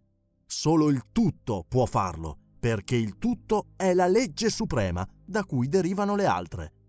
I maestri di grado superiore hanno tutti quei poteri che noi normalmente riteniamo essere attributi esclusivi degli dei, come ci sono nella scala di valori potenziali della gerarchia della vita esseri la cui potenza è superiore a quella dei più grandi maestri fra gli uomini, il cui potere è inconcepibile ai mortali. Eppure anche il più grande fra di essi deve sottostare alla legge ed essere un nulla di fronte al tutto. Se quindi anche questi esseri supremi, con poteri superiori a quelli immaginati dagli uomini per i loro dei, devono sottostare alla grande legge, consideriamo un attimo quanto sia presuntuoso l'uomo quando osa considerare la natura con le sue leggi come irreale, essendo il solo in grado di dire che le leggi sono di natura mentale e quindi solo delle creazioni del tutto. Ma queste leggi, che secondo i voleri del tutto sono leggi che governano, non possono essere trascurate e né sfidate. Finché esisterà l'universo, esse dureranno, poiché è grazie ad esse che l'universo esiste ed ha anche un riscontro, un'aderenza in ogni sua parte. Il principio ermetico del mentalismo non muta la vita, l'evoluzione, le leggi scientifiche dell'universo, pur spiegandone però la sua vera natura. La scienza stessa prende molto dagli insegnamenti ermetici. Da essi si può solo dedurre che la natura dell'universo è mentale, mentre la scienza d'oggi ci dice che essa è materiale, o meglio, energia. L'ermetismo può benissimo affiancarsi a Spencer nel dire che c'è un'energia eterna ed infinita da cui derivano tutte le cose. In effetti, gli ermetici riconoscono in Spencer e nella sua filosofia l'espressione più alta e completa che l'umanità abbia mai posseduto delle leggi e dei processi naturali. Anzi, ritengono che il grande filosofo non sia altri che la reincarnazione di un filosofo antico, vissuto in Egitto migliaia di anni or sono, e che si è poi reincarnato nel filosofo greco Eraclito, vissuto intorno al 500 a.C. Il suo postulato dell'energia eterna ed infinita viene da esso visto sullo stesso filo dei dettami ermetici, cui aggiungono la loro dottrina particolare, per cui l'energia nominata da Spencer è l'energia della mente del tutto. Servendosi della filosofia ermetica, chi si interessa di Spencer potrà afferrare molte delle sue più care concezioni filosofiche, che rispecchiano inequivocabilmente i risultati della profondità della sua preparazione resa possibile dalle sue precedenti incarnazioni. Infatti le sue teorie sull'evoluzione e il ritmo sono quasi in completo accordo con gli insegnamenti ermetici sullo stesso principio. Per cui allo studioso ermetico non è chiesto di negare alcuna delle sue visioni scientifiche sull'universo e la sua natura. Gli è solo chiesto di ricordare il principio fondamentale. Tutto è mente. L'universo è mentale. I rimanenti sei principi combaceranno perfettamente con le sue cognizioni scientifiche ed anzi serviranno a rendere più chiari alcuni concetti oscuri. Tutto questo non ci deve rendere perplessi. Basterà notare che la filosofia greca, su cui ha le sue basi ogni teoria scientifica moderna, molto derivò dall'antica filosofia ermetica. L'unico grande punto di contrasto tra la scienza odierna e il pensiero ermetico è l'accettazione del primo principio.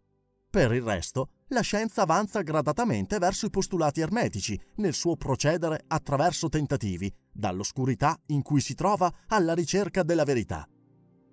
Tutta questa lezione verte ad imprimere nella mente del lettore il concetto che l'universo, le sue leggi ed i suoi fenomeni sono e debbono essere per l'uomo tanto reali sotto ogni riguardo quanto lo sono, secondo il materialismo, i fautori dell'energitismo pur lasciando adito a qualsiasi ipotesi, non bisogna dimenticare che l'universo, visto esternamente, è mutabile, soggetto a flussi continui e del tutto transitorio, vale a dire non sostanziale ed irreale. Però, col tener conto dell'altra faccia della realtà e conservando le stesse ipotesi, siamo obbligati a vivere ed agire come se quel che sappiamo essere transitorio fosse invece reale e sostanziale, ma con una differenza. Nelle antiche credenze il potere mentale era del tutto ignorato come forza naturale. Ora, grazie al mentalismo, viene considerato la più grande forza naturale. Quest'unica differenza, per quelli che ne comprendono la portata, le leggi che ne conseguono e la sua applicazione pratica, comporta tutto un ridimensionamento della vita stessa. Così quasi tutti gli studiosi riescono a comprendere i vantaggi del mentalismo ed imparano a conoscere e a rendersi padroni delle leggi che ne conseguono. Ma bisogna guardarsi dalla tentazione che, come ammonisce il Kybalion, opprime il mezzo saggio, il quale, quasi ipnotizzato dall'apparente evanescenza delle cose, si muove come un sonnambulo in un mondo di sogni, inconsapevole ed ignaro della vita vissuta, e alla fine costretto dagli elementi ad infrangersi contro le rocce a causa della sua follia. Giusto sarebbe invece seguire l'esempio dei saggi, che come dice il Kybalion si servono della legge contro le leggi, di ciò che è più in alto contro ciò che è più in basso, e grazie all'alchimia tramutano quel che è indegno in degno e desiderabile, e giungono così al vero trionfo.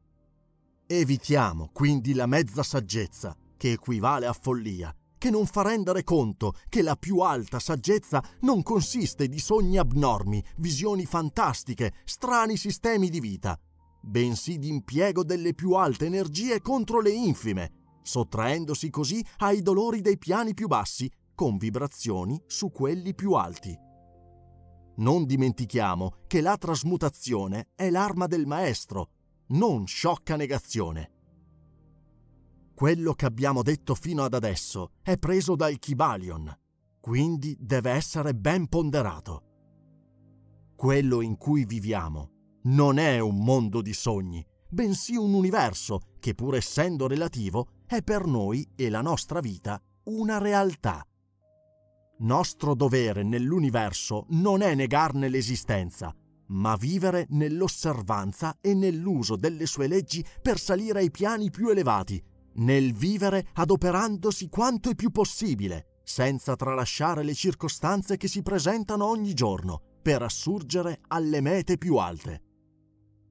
A noi uomini di questo piano non è dato di conoscere il vero significato della vita, anche se c'è qualche eccezione. Ma le voci di maggiore autorità, come pure il nostro intuito, almeno fino ad un certo punto, in conformità ai nostri migliori istinti e all'armonicità dell'universo, ci insegnano a vivere secondo questi dettami, malgrado i tanti ostacoli che sempre più numerosi si frappongono sul nostro cammino. Tutti quanti siamo sul sentiero e tendiamo inesorabilmente verso l'alto, anche se a volte abbiamo bisogno di fermarci a riposare. Ricordare sempre il messaggio del Kybalion.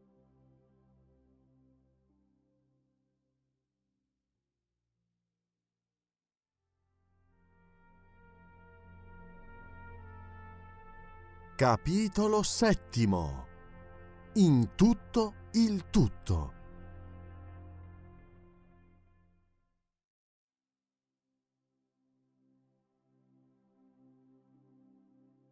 Allo stesso modo che tutto è nel tutto, il tutto è in tutto.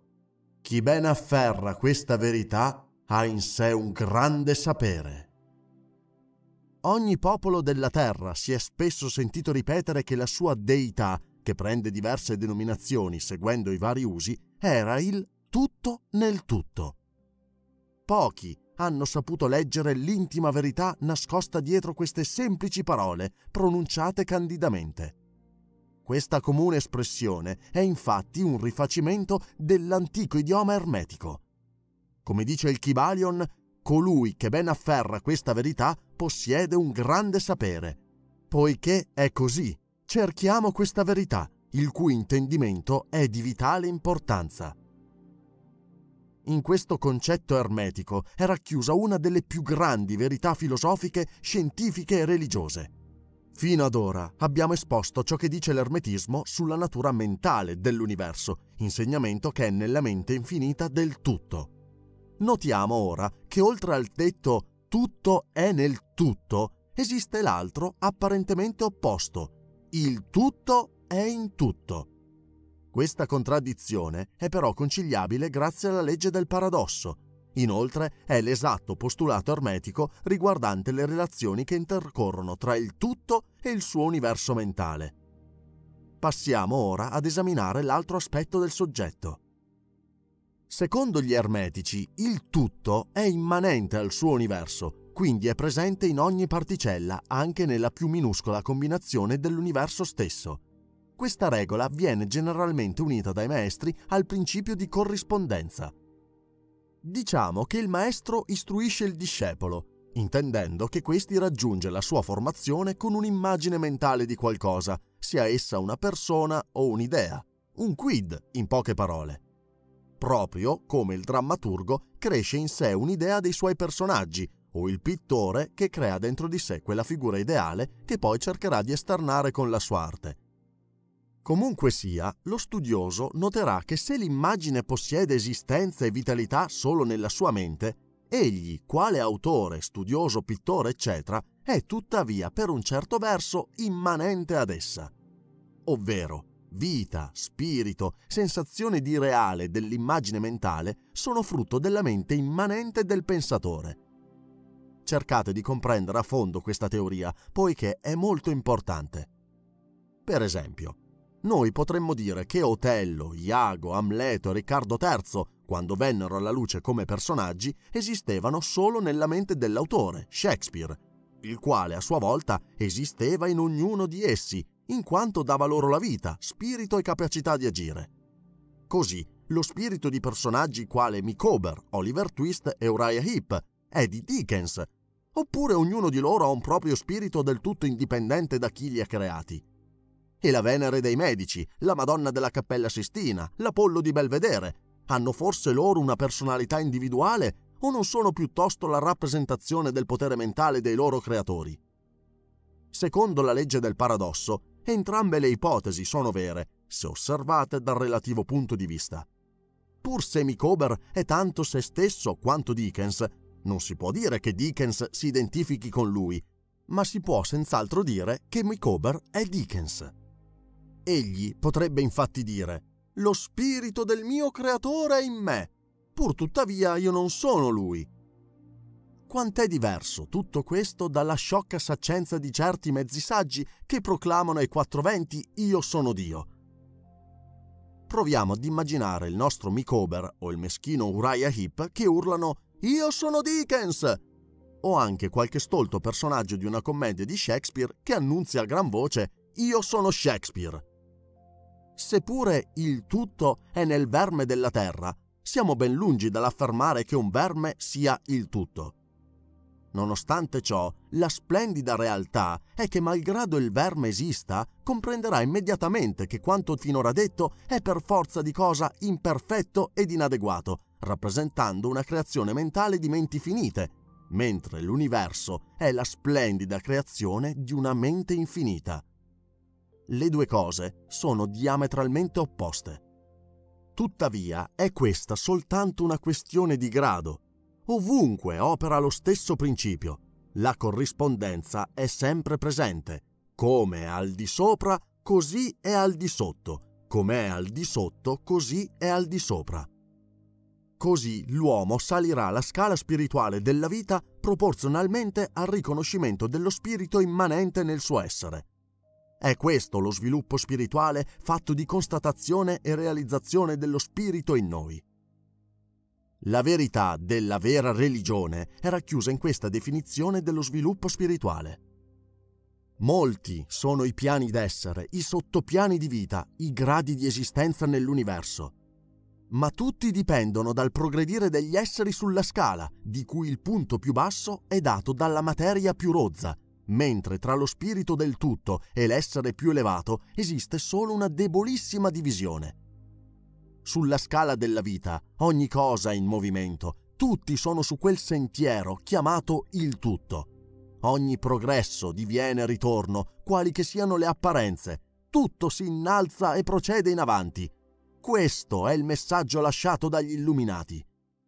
Seguendo gli insegnamenti ermetici sulla creazione mentale dell'universo, possiamo sapere che all'inizio del ciclo creativo il tutto, nella sua parte di essere, emette la sua volontà verso il suo aspetto di divenire, iniziando così il processo di creazione. Il processo, come ci viene insegnato, è determinato dall'abbassarsi della vibrazione fino al suo più basso grado, ove si manifesta la sua più rozza forma di materia. È questo lo stato di involuzione, cioè quello in cui il tutto si avvolge nella sua creazione.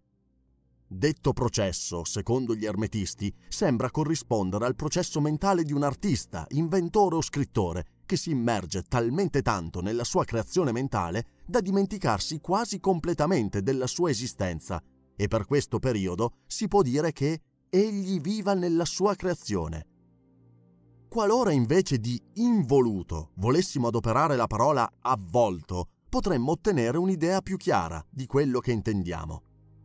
Tale stadio involontario di creazione viene a volte denominato distribuzione di energia divina, allo stesso modo in cui per lo stadio evolutivo si usa il termine attingere. L'estremità del processo creativo è senza dubbio la più distante dal tutto mentre si usa considerare principio dello stadio evolutivo l'inizio dell'oscillazione retrocedente del pendolo del ritmo, nozione questa convalidata da ogni ermetista.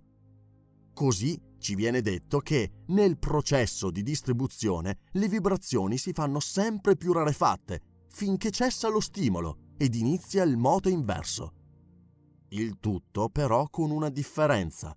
Nella distribuzione, le forze creatrici si manifestano come un insieme compatto, mentre partendo dallo stadio evolutivo si inizia la legge di individuazione, ovvero la tendenza a distribuirsi in diverse unità di forza. Così, quel che si è andato separando dal tutto come energia non individuata torna alla fonte come insieme di unità di vita assai sviluppate, le quali si sono innalzate lungo la scala, attraverso l'evoluzione fisica, mentale e spirituale. Il processo di creazione mentale dell'universo nella mente del tutto è descritto dagli antichi ermetisti come meditazione, come pure fanno grande uso del termine contemplazione. Tale idea può essere chiarita maggiormente con l'espressione di divina attenzione, intendendosi per attenzione, secondo la sua origine latina, parola indicante il porgersi mediante distensione, quindi un protendersi dell'energia mentale. Grazie agli insegnamenti ermetici sul processo evolutivo si può derivare che il tutto, una volta stabiliti i fondamenti e i limiti materiali dell'universo e dato ad esso esistenza con un ordine mentale, tralascia poco a poco la sua meditazione, dando così inizio al processo evolutivo sui piani materiale, mentale e spirituale. Ha luogo così un moto verso l'alto, mentre volge nella direzione dello spirito. Così la materia si rende meno rozza, le unità si elevano verso l'essere, si formano i primi agglomerati, inizia la vita che si manifesta in forme sempre più alte, la mente si evidenzia maggiormente, il ritmo vibratorio diventa sempre più alto. Per riassumere, il processo evolutivo inizia e procede in ogni sua fase secondo leggi ben precise, stabilite dal processo di attingimento di energia mentale. Per raggiungere ciò sono necessari millenni del tempo umano, ognuno d'essi consistendo in innumerevoli milioni di anni. Ciò nonostante, da parte di illuminati ci viene detto che la creazione di un universo nella sua interezza, cioè l'involuzione, non è altro per il tutto che l'aprirsi e chiudersi di un occhio. Terminati molti cicli di secoli, il tutto distoglie la sua attenzione dall'universo, dato che la sua grande opera è terminata ed ogni cosa si ritiene nel tutto da cui è emersa. Malgrado ciò, ed è questo il grande mistero, lo spirito di ogni anima non si distrugge, ma si protende all'infinito. Questo immedesimarsi e distogliersi dalla meditazione da parte del tutto rappresenta naturalmente soltanto un tentativo dei maestri di descrizione del processo infinito come un esempio finito. Ciò nonostante, tutto è al di sotto come al di sopra. La differenza è solo di grado. E come il tutto si ritrae dalla sua meditazione sull'universo, così l'uomo, attraverso il tempo, cessa di manifestarsi su un piano materiale e si ritrae sempre maggiormente nei meandri dello spirito, dell'ego divino. Abbiamo ancora qualcosa da dire, anche se ciò equivale ad un'invasione del campo metafisico, ma è nostro unico proposito mostrare l'inutilità di tale speculazione. Ci riferiamo al problema che si pone inevitabilmente ad ogni pensatore che si dedichi alla ricerca della verità. Ecco il problema. Perché il tutto crea degli universi. Molte sono le forme in cui può essere posto, ma possono essere tutte ricondotte a quella sopra indicata. Di risposta valida ancora non ce n'è nessuna. C'è chi ha immaginato che il tutto avesse, creando, qualche guadagno. Ma ciò è assurdo, perché il tutto possiede già ogni cosa. Altri hanno detto che il tutto potrebbe cercare qualcosa degno del suo amore, altri che lo facesse per divertimento o perché stanco della solitudine. Altri ancora dicono che per dar prova del suo potere. Ma si tratta sempre di spiegazioni futili di menti infantili. C'è chi tenta di spiegare l'arcano col dire che il tutto fosse, forse, costretto a creare per uno stimolo della propria natura. Questa potrebbe essere una spiegazione attendibile, ma non regge per l'idea che il tutto possa essere obbligato a fare qualcosa. Se la sua natura più intima o il suo istinto creativo lo costringessero a fare qualcosa, l'attributo di assoluto passerebbe ad essi in luogo del tutto, il che non è possibile. Comunque sia, il tutto crea e si manifesta come se provasse una sorta di soddisfazione nel far ciò né è facile sottrarsi alla conclusione che possa esistere ad un grado infinito quel che al nostro livello corrisponderebbe ad un istinto creativo ugualmente infinito. Esso non agirebbe se non volendolo, non potrebbe voler agire se non fosse suo desiderio far ciò, né potrebbe desiderare di agire se non ne ottenesse una soddisfazione. Tutte queste cose, facenti parte di una natura interna, potrebbero essere attribuite al tutto secondo la legge di corrispondenza. Noi però preferiamo immaginare il tutto come scevro da qualsiasi imposizione esterna o interna. Ecco quindi la difficoltà che è alla base del problema. Più precisamente, è difficile affermare che possa esistere una ragione che determini il tutto ad agire, dato che per ogni ragione deve esistere una causa, e il tutto è al di sopra di qualsiasi causa o effetto, tranne quando non voglia diventare, per una volontà, causa. È quello il momento in cui il principio si mette in moto. vale la stessa regola che si ha per l'inconoscibilità del tutto. Come affermiamo che il tutto è, semplicemente, così dobbiamo dire che agisce perché agisce. Quindi, per concludere, il tutto è tutta ragione, legge, azione in se stesso, o anche il tutto è la sua propria ragione, legge e azione, oppure che il tutto è tutt'uno con queste tre cose, trattandosi di diversi nomi per la stessa cosa. Secondo gli illuminati, la risposta è racchiusa nel più intimo sé del tutto, assieme al segreto dell'essere. Da ciò si può dedurre che il principio di corrispondenza conserva la sua validità solo per l'aspetto del divenire del tutto. Quando si giunge a quello dell'essere, tutte le leggi vengono assorbite dalla legge ed i principi si perdono nell'unico principio. Ogni metafisica al riguardo è inutile, perché il tutto, il principio e l'essere sono identici, formano un tutt'uno indistinto. Noi ne parliamo solo per mettere l'accento sul problema o sull'inadeguatezza delle risposte che ordinariamente vengono date da teologi e metafisici. Interessante è notare che se alcuni tra i vecchi e i nuovi ermetici hanno tentato di applicare il principio di corrispondenza, Ermete il Grande invece, richiesto sull'argomento dai suoi discepoli, pare abbia risposto serrando le labbra, senza proferire verbo, il che indica che non c'è risposta. Forse però egli potrebbe aver voluto indicare l'assioma della sua filosofia, le labbra della sapienza sono chiuse, tranne che per chi le comprende. Ritenendo che anche i suoi migliori discepoli non fossero pronti per la grande verità. Ad ogni modo, anche se Ermete era a conoscenza del segreto, non volle svelarlo, e per il mondo le sue labbra rimasero chiuse. Quindi, se Ermete si astenne dal parlare, quale altro mortale può ardire insegnare? Ma quale che sia la risposta, è sempre valido il postulato che, mentre tutto è nel tutto, il tutto è in tutto. A questa regola non c'è eccezione.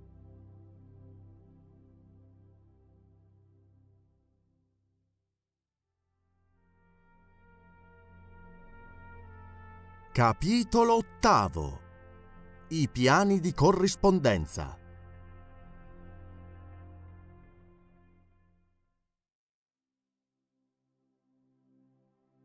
Com'è al di sopra, così è al di sotto. Com'è al di sotto, così è al di sopra.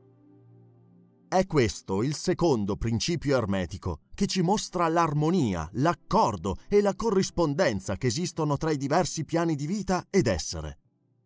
Ciò è vero, in quanto tutto quel che c'è nell'universo deriva dalla stessa sorgente ed è soggetto agli stessi principi ed ha le stesse caratteristiche, applicabili ad ognuna sua unità, dato che ognuna di esse si manifesta sul proprio piano. Per maggior semplicità di studio e di pensiero, si suole dividere l'universo in tre categorie di fenomeni che vanno sotto il nome di tre grandi piani, ovvero 1. il grande piano fisico, 2. il grande piano mentale, 3. il grande piano spirituale. Naturalmente queste divisioni sono del tutto arbitrarie, dato che non rappresentano che i diversi valori sulla scala della vita, di cui il più basso è la materia indifferenziata, il più alto lo spirito. Tra i due piani esistono poi diverse sfumature, così che una divisione netta tra i più bassi fenomeni del piano mentale e i più alti di quello fisico, o viceversa, non può essere fatta. Quindi potremmo considerare i tre grandi piani come tre gruppi di gradi di manifestazione vitale. Non possiamo però soffermarci oltre in codesti approfondimenti e preferiamo passare a descriverli più generalmente. Per prima cosa rispondiamo alla prima domanda che sale alle labbra del profano, il significato della parola piano. Questo termine, assai usato, è stato oggetto di spiegazioni errate da parte di varie scuole occultiste, per cui cercheremo di rimediare. Il problema è il seguente. Il piano è un luogo a due dimensioni o soltanto una condizione o uno stato? Esso non è certamente un luogo né una dimensione dello spazio. Purtuttavia è molto di più di uno stato o di una condizione. Possiamo dirlo uno stato o una condizione, per quel che in esso c'è di grado di dimensione su di una scala graduata. Può sembrare questo un paradosso, ma non lo è. Esaminiamo il problema più da vicino. Noi sappiamo che una dimensione è una misura in linea retta.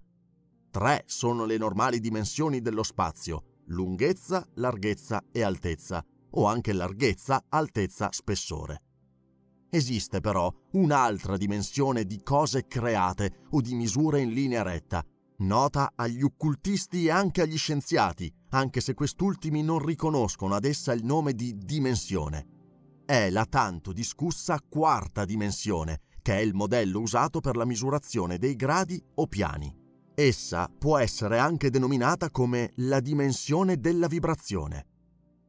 È un fatto ben noto agli ermetisti e anche alla scienza moderna che tutto vibra, ogni cosa è in movimento e nulla è in riposo, regola incorporata nel terzo principio ermetico.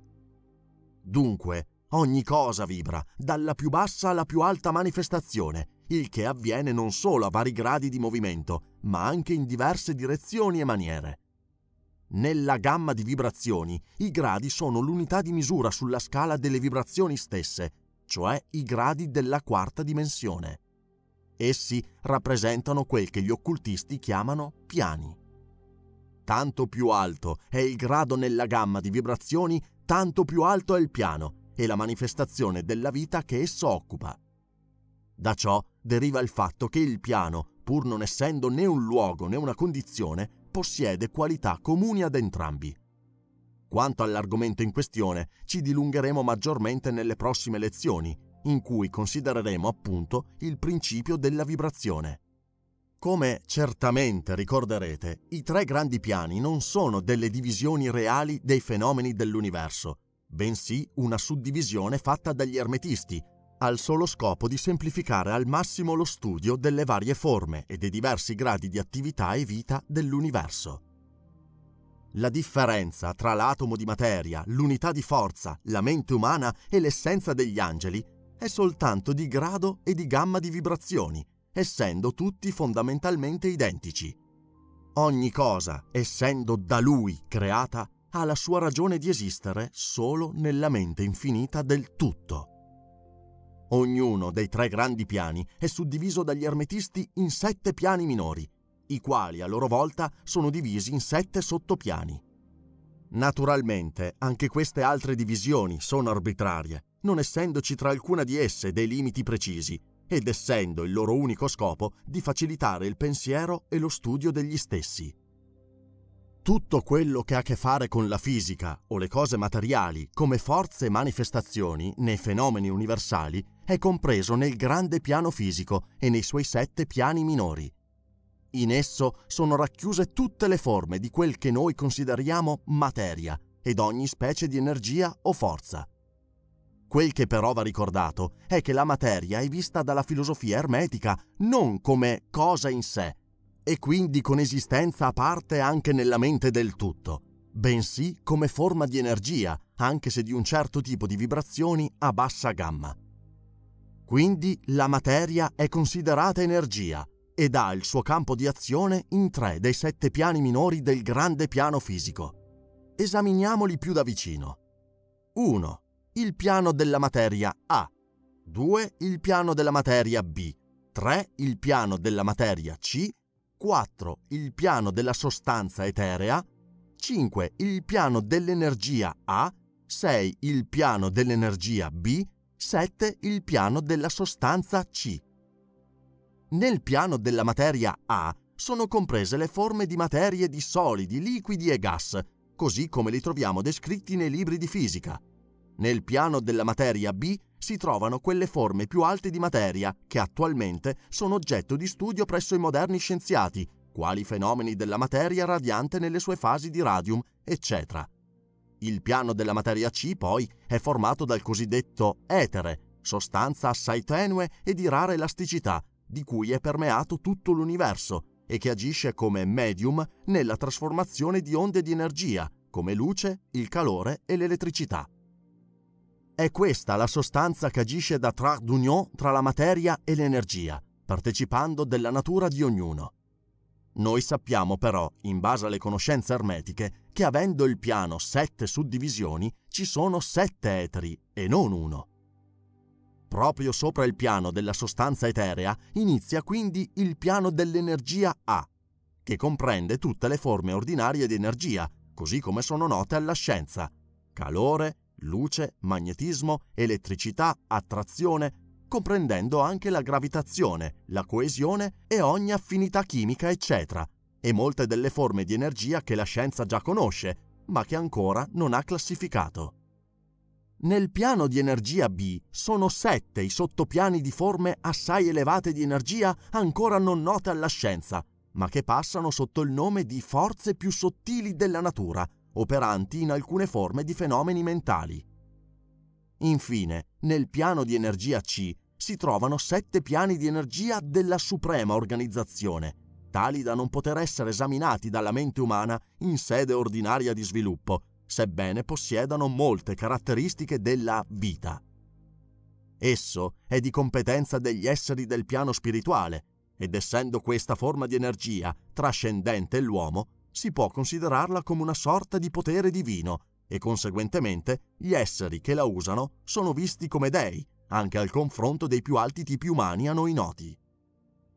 Quanto al grande piano mentale, esso comprende tutte le forme di cose viventi che osserviamo nella vita ordinaria ed anche altre, note solo agli occultisti.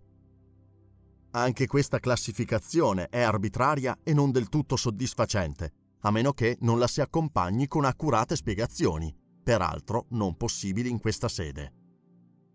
1 il piano della mente minerale, 2 il piano della mente elementale A, 3 il piano della mente vegetale, 4 il piano della mente elementale B, 5 il piano della mente animale, 6 il piano della mente elementale C. E il settimo il piano della mente umana. Il primo comprende gli stati delle unità o entità, come pure dei gruppi e delle combinazioni che possono formare. Esse rendono possibili quelle forme che ci sono note come minerali, sostanze chimiche, eccetera. Badiamo bene a non confondere queste entità con le molecole, gli atomi e i corpuscoli, che non sono altro che il corpo, la forma materiale di dette entità, proprio come il corpo dell'uomo lo racchiude, ma non è lui stesso. Si potrebbe in un certo senso chiamarle anime, pur essendo esseri viventi di un basso grado di sviluppo, vita e mente, solo qualcosa di più delle più alte energie viventi del piano fisico. Normalmente l'uomo, mente media, non riconosce al mondo minerale mente, anima o vita, mentre gli ermetisti, ed ora in parte la scienza moderna, ne hanno la piena convinzione. Quindi molecole, atomi, corpuscoli hanno i loro amori e i loro odi, attrazioni e ripugnanze o affinità, proprio come noi. Non solo, Alcuni tra i più audaci scienziati attuali ritengono fondata l'opinione che desideri, volontà, emozioni, sentimenti degli atomi differiscano dagli umani solo di grado. Purtroppo non abbiamo abbastanza spazio qui per esaminare meglio il quesito. Ci limitiamo a dire che ogni occultista conosce questo fenomeno e che alcuni di essi fanno riferimento ad opere scientifiche per averne una più valida conferma. Naturalmente anche in questo piano sono presenti le solite sette suddivisioni. Segue, nell'ordine, il piano della mente elementale A, che rappresenta lo stato e il grado di sviluppo mentale di entità sconosciute all'uomo comune, ma note agli occultisti. Pur essendo invisibili all'uomo dotato dei cinque sensi ordinari, assolvono puntualmente il loro compito nell'universo. Il loro grado di intelligenza è qualcosa che sta tra le entità minerali e chimiche e quelle del regno vegetale. Quest'ultime fanno parte del piano che con le sue sette divisioni ben comprende ogni loro fenomeno, cosa del resto riconosciuta anche dalle persone di media intelligenza, certamente grazie anche alle assai diffuse opere scientifiche sulla mente e vita delle piante, dotate di attributi proprio come gli animali, l'uomo e il superuomo. Il piano della mente elementale B rappresenta invece gli stati e le condizioni di una forma più elevata di entità invisibili, con funzioni generali nell'universo, la cui vita e mente, essendo situata tra il piano della mente vegetale e quello animale, partecipa della natura di entrambi. Nel piano della mente animale sono rappresentate le comunissime entità delle forme animali di vita. Non ci soffermeremo oltre su questo piano, certi che vi è ben noto. L'ultimo piano elementale è costituito da quelle entità, invisibili come ogni elementale, che fino ad un certo grado e dietro precise condizioni partecipano della natura della vita animale e di quella umana. Infine abbiamo il piano della mente umana, che comprende tutte le manifestazioni di ogni grado, specie o funzione comuni all'uomo. In merito vogliamo attrarre la vostra attenzione sul fatto che l'attuale uomo comune non occupa che la quarta delle sette suddivisioni del piano e che solo i più dotati superano i limiti della quinta. Se si sono resi necessari milioni di anni per raggiungere questo stadio, per oltrepassarlo alla specie umana occorrerà un tempo forse maggiore. Altri esseri però prima di noi hanno passato questo stadio. Sul sentiero la nostra specie è la quinta, con l'aggiunta di alcuni sviati della quarta. Esistono pure tra noi anime che staccatesi dalla massa sono giunte alla sesta, alla settima suddivisione ed anche oltre. Alla sesta l'uomo diventa superuomo, alla settima ultrauomo. Quando accennammo ai sette piani minori, abbiamo appena nominato i tre piani elementali. Pur se non ci possiamo perdere in particolari sul soggetto, dato che è estraneo al nostro tipo di trattazione filosofica teoretica, possiamo però, per chiarirvi le relazioni esistenti tra essi e quelli che noi conosciamo, dirvi che tra di essi intercorrono le stesse relazioni che ci sono nel pianoforte tra le chiavi bianche e quelle nere. Se le chiavi bianche bastano a produrre della musica, per alcune scale, melodie ed armonie sono necessarie quelle nere. La loro funzione con le anime è quella di anelli di congiunzione fra i molti piani, raggiungendosi con esse un certo sviluppo. Grazie a questa spiegazione, il lettore potrà comprendere meglio i suoi processi evolutivi ed avere una nuova visione dei salti vitali tra regno e regno. Gli enormi regni degli elementali sono spesso menzionati da scrittori esoterici e conosciuti da tutti gli occultisti. Chi avesse letto lo Zanoni di Balwer Lytton e simili libri saprà senz'altro qualcosa intorno a questi esseri. Ed ora si dovrebbe passare dal grande piano mentale a quello spirituale. Ma come si possono spiegare questi altissimi stati d'essere se già ci sfugge il significato delle più alte suddivisioni del piano della mente umana? Poiché ciò è impossibile, dobbiamo limitarci a parlarne in termini molto vaghi. Infatti, come si potrebbe descrivere la luce ad un cieco nato, o il sapore dello zucchero ad uno che non ha mai assaggiato nulla di dolce, o l'armonia dei suoni a chi è sordo dalla nascita? Possiamo solo dire, in base alle conoscenze che abbiamo, che nei sette piani minori del grande piano spirituale stanno esseri i cui attributi, vita, mente, forma, sono di una superiorità inimmaginabile rispetto all'uomo, più di quanto egli superi un verme, un minerale ed alcune forme di materia o energia. Noi non possiamo nemmeno concepire i particolari della vita di questi esseri, tanto trascendono la nostra natura. I nostri processi mentali, confrontati alle loro menti, somigliano a quelli animali e noi possiamo appena pensarle. La loro forma è composta di materia dei piani più alti e alcuni di questi piani pare siano rivestiti di pura energia. Ma cosa possiamo dunque dire di questi esseri? Forse li chiameremmo angeli, arcangeli o semidei, sui più bassi piani minori stanno le anime che noi chiamiamo maestri e adepti, poi vengono le grandi schiere angeliche, a noi ignote, ed infine, sopra di esse, stanno quelli che senza timore di sbagliare potremmo chiamare dei, essendo la loro essenza, potenza ed intelligenza così elevate da essere al di là di ogni umana comprensione, la cui unica definizione può essere divino. Dei problemi dell'universo si interessa gran parte di essi, esplicandovi una funzione considerevole.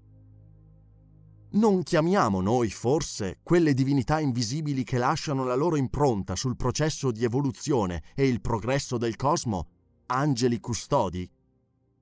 Il loro intervento ed aiuto agli uomini hanno fatto sì che nascessero moltissime leggende, usanze, credenze ed infine religioni, sia nel passato che nel presente.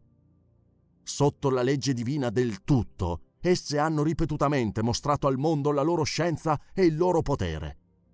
Ciò non toglie che anche i più elevati fra questi esseri supremi esistono solo in quanto creati dalla mente del tutto e sono anch'essi soggetti ai processi cosmici e alle leggi universali. Pur se noi li chiamiamo dei, essi sono ancora mortali, ovvero quelle anime che, sorpassate di gran lunga le altre, hanno rinunziato all'estatico riassorbimento nel tutto per aiutare gli uomini nel loro viaggio attraverso il cosmo. Pur tuttavia sono parte dell'universo e devono soggiacere alle sue leggi il loro piano, pur se altissimo, è al di sotto dello spirito assoluto. Ma i profondi insegnamenti sullo stato di esistenza e i poteri dei piani spirituali possono essere compresi solo dagli ermetisti più avanzati, dato che quei fenomeni sono di grado talmente superiore a quello dei piani mentali che tentare di darne una descrizione genererebbe solo una terribile confusione. Solo quelli che o per studi di lunghi anni nelle discipline ermetiche o grazie al retaggio di conoscenze frutto di precedenti incarnazioni hanno la mente particolarmente preparata possono intendere il senso profondo di questi insegnamenti sui piani spirituali e molti di questi, ritenuti troppo importanti e pericolosi, non vengono resi pubblici dagli ermetisti. Per spirito Ogni persona intelligente se ne renderà conto, noi intendiamo, secondo i dettami degli ermetisti, il potere vivente, la forza prima, l'essenza vitale, eccetera. Significato da non confondere con quello che si usa generalmente parlando di religioso, ecclesiastico, spirituale, santo, immanente, eccetera. Quindi dicevamo che spirito sta per principio animatore, racchiudendo questo termine l'idea di potenza, forza mistica, energia viva, eccetera. Ogni occultista sa che questo potere può essere usato tanto per fini buoni come per fini cattivi, in accordo col principio di polarità, cosa d'altra parte riconosciuto anche dalla più grande parte delle religioni, che mettono accanto ai loro dei buoni Satana, Belzebù, il diavolo Lucifero e gli angeli perduti, eccetera. Conoscenza, questa dei piani superiori, che tutti gli ordini occultistici conservano gelosamente nella camera segreta del Tempio. Ma anche se vi sono stati coloro che, impadronitisi di altri poteri, ne hanno abusato, il loro destino si è reso spaventoso. Secondo il principio del ritmo, saranno costretti a tornare al punto di partenza dell'esistenza materiale e da lì dovranno percorrere di nuovo tutto il cammino sul sentiero, ma con la torturante consapevolezza delle altezze da cui sono caduti in seguito al loro agire dissoluto. Ogni bravo occultista sa che la leggenda degli angeli puniti ha una sua remota verità. Questo perché l'adoperarsi per ottenere un potere personale ed egoistico sui piani spirituali ha come conseguenza il decadimento spirituale ed il ritorno immediato al punto di partenza, è questa la terribile pena inflitta a tale anima, cui peraltro è data la possibilità di risalire verso l'alto. Concludiamo ricordandovi che in accordo al principio di corrispondenza, per cui come al di sopra così al di sotto, i sette principi ermetici sono tutti in funzione su ogni piano, sul fisico, sul mentale, sullo spirituale. Allo stesso modo si applica a tutti il principio della sostanza mentale, dato che tutti sono generati e contenuti nella mente infinita del tutto. Così possiamo vedere che ovunque agisce il principio di corrispondenza, poiché tra ogni piano vi è armonia e accordo perfetto. Lo stesso vale per il principio di vibrazione. Infatti, le reali differenze che danno origine ai piani hanno alla loro base una differente vibrazione. Poiché gli estremi dei poli sono opposti e contrari, in ogni piano varrà anche il principio relativo. Quanto al ritmo, ben sappiamo che in ogni piano c'è nel movimento dei fenomeni un flusso e riflusso, un innalzamento ed un abbassamento, un'entrata e un'uscita. Mentre riguardo a quello di causa ed effetto, ci rendiamo perfettamente conto che in ogni piano ogni effetto deve avere la sua causa e viceversa.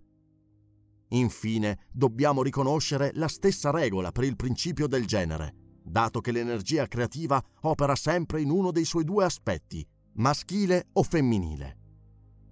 Se l'antichissimo assioma ermetico del com'è al di sopra, così è al di sotto è uno dei più importanti principi operanti coi fenomeni universali, esaminando anche i rimanenti ci si renderà sempre più conto dell'estrema importanza di portata universale del grande principio di corrispondenza.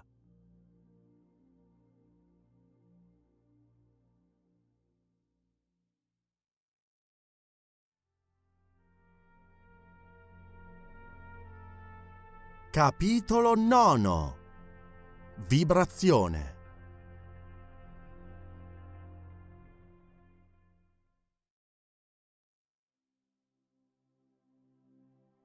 Niente è in riposo, tutto si muove, ogni cosa vibra.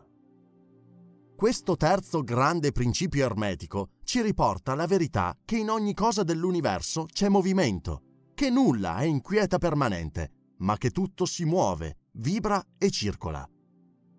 Alcuni antichissimi filosofi greci scoprirono o adottarono nelle loro dottrine questo principio ermetico Purtroppo però fu poi per secoli dimenticato da pensatori che nulla avevano a che spartire con l'ermetismo.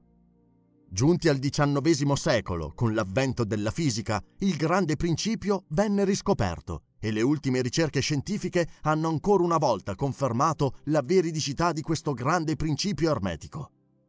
Quindi non solo tutto vibra costantemente, ma le differenze tra le diverse manifestazioni fenomeniche del potere esistente nell'universo sono proprio dovute al grado e al modo di vibrazione.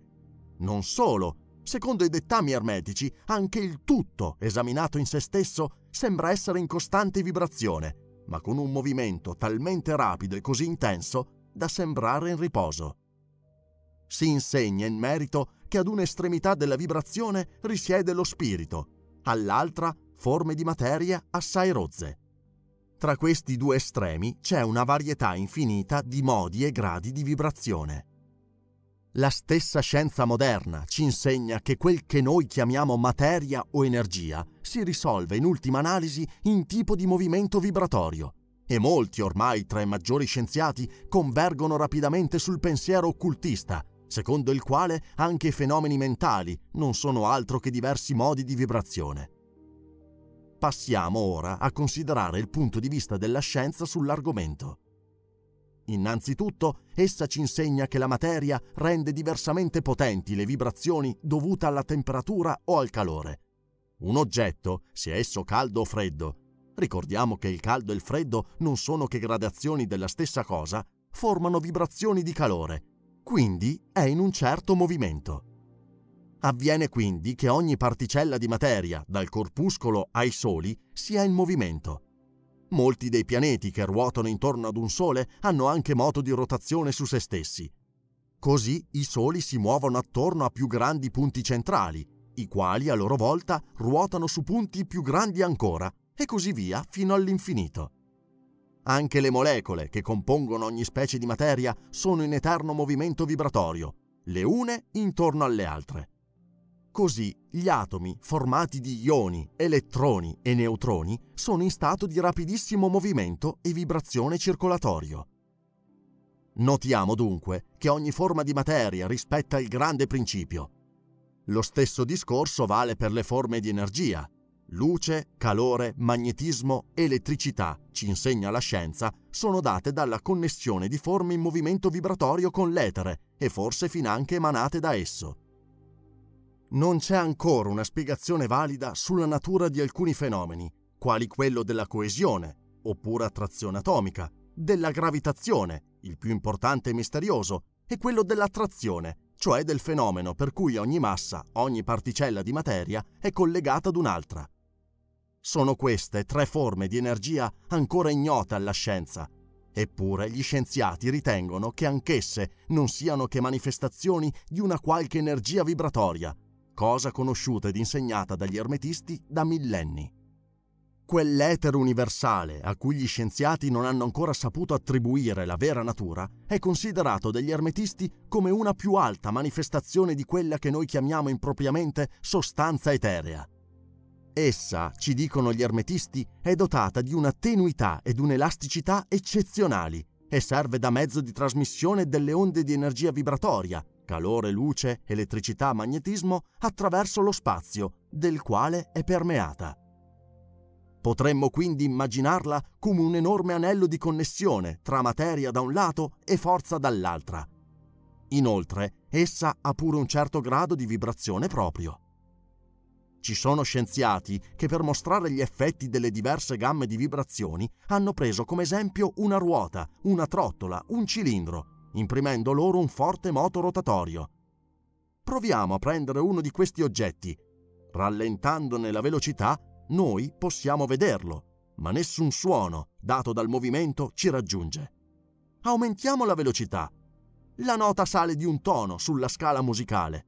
Aumentandola ancora, la nota diventa sempre più alta.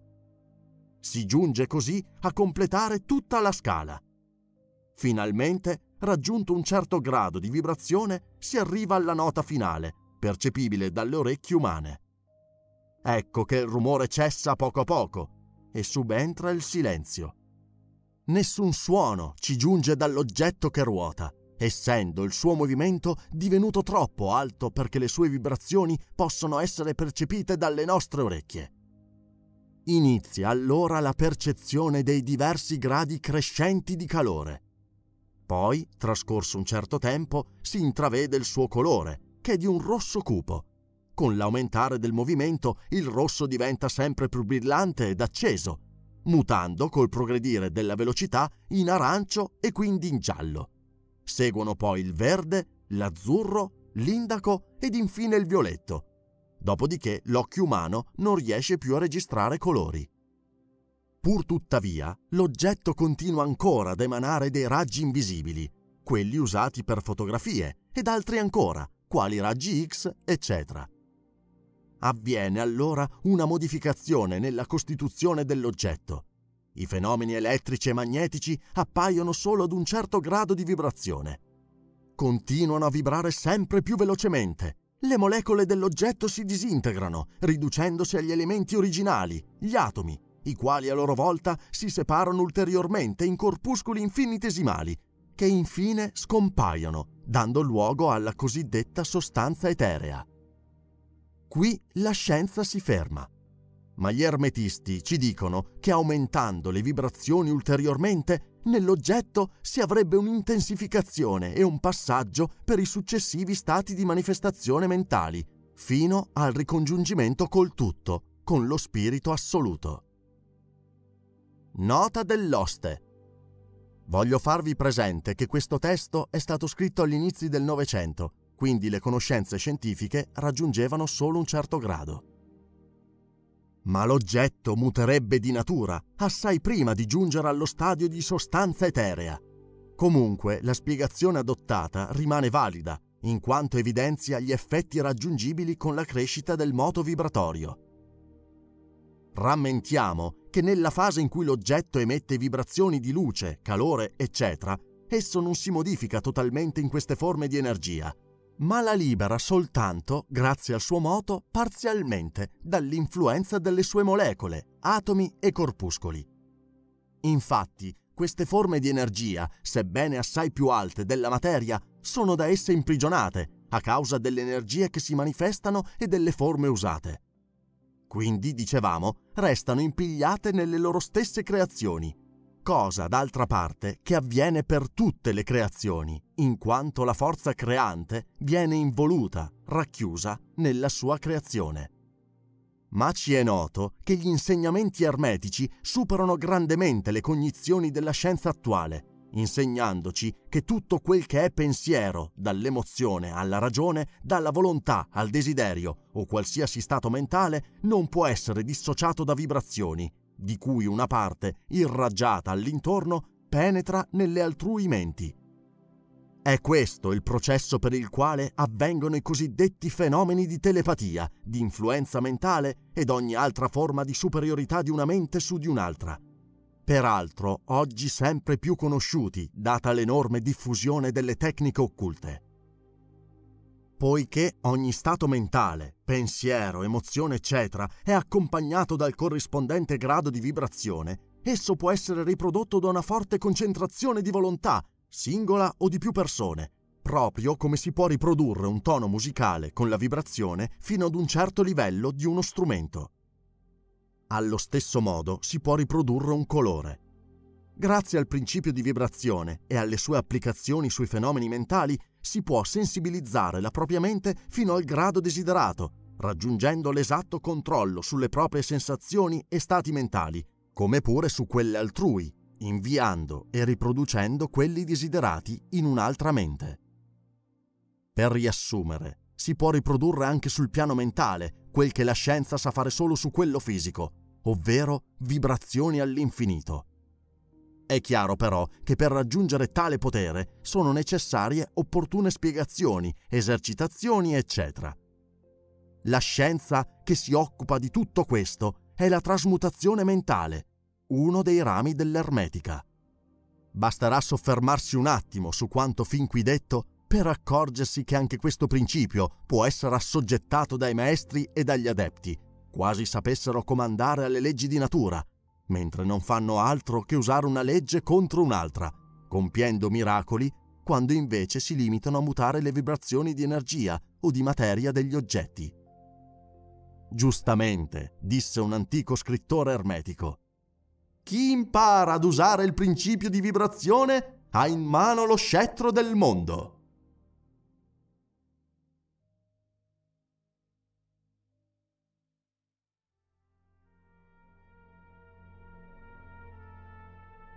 Capitolo decimo Polarità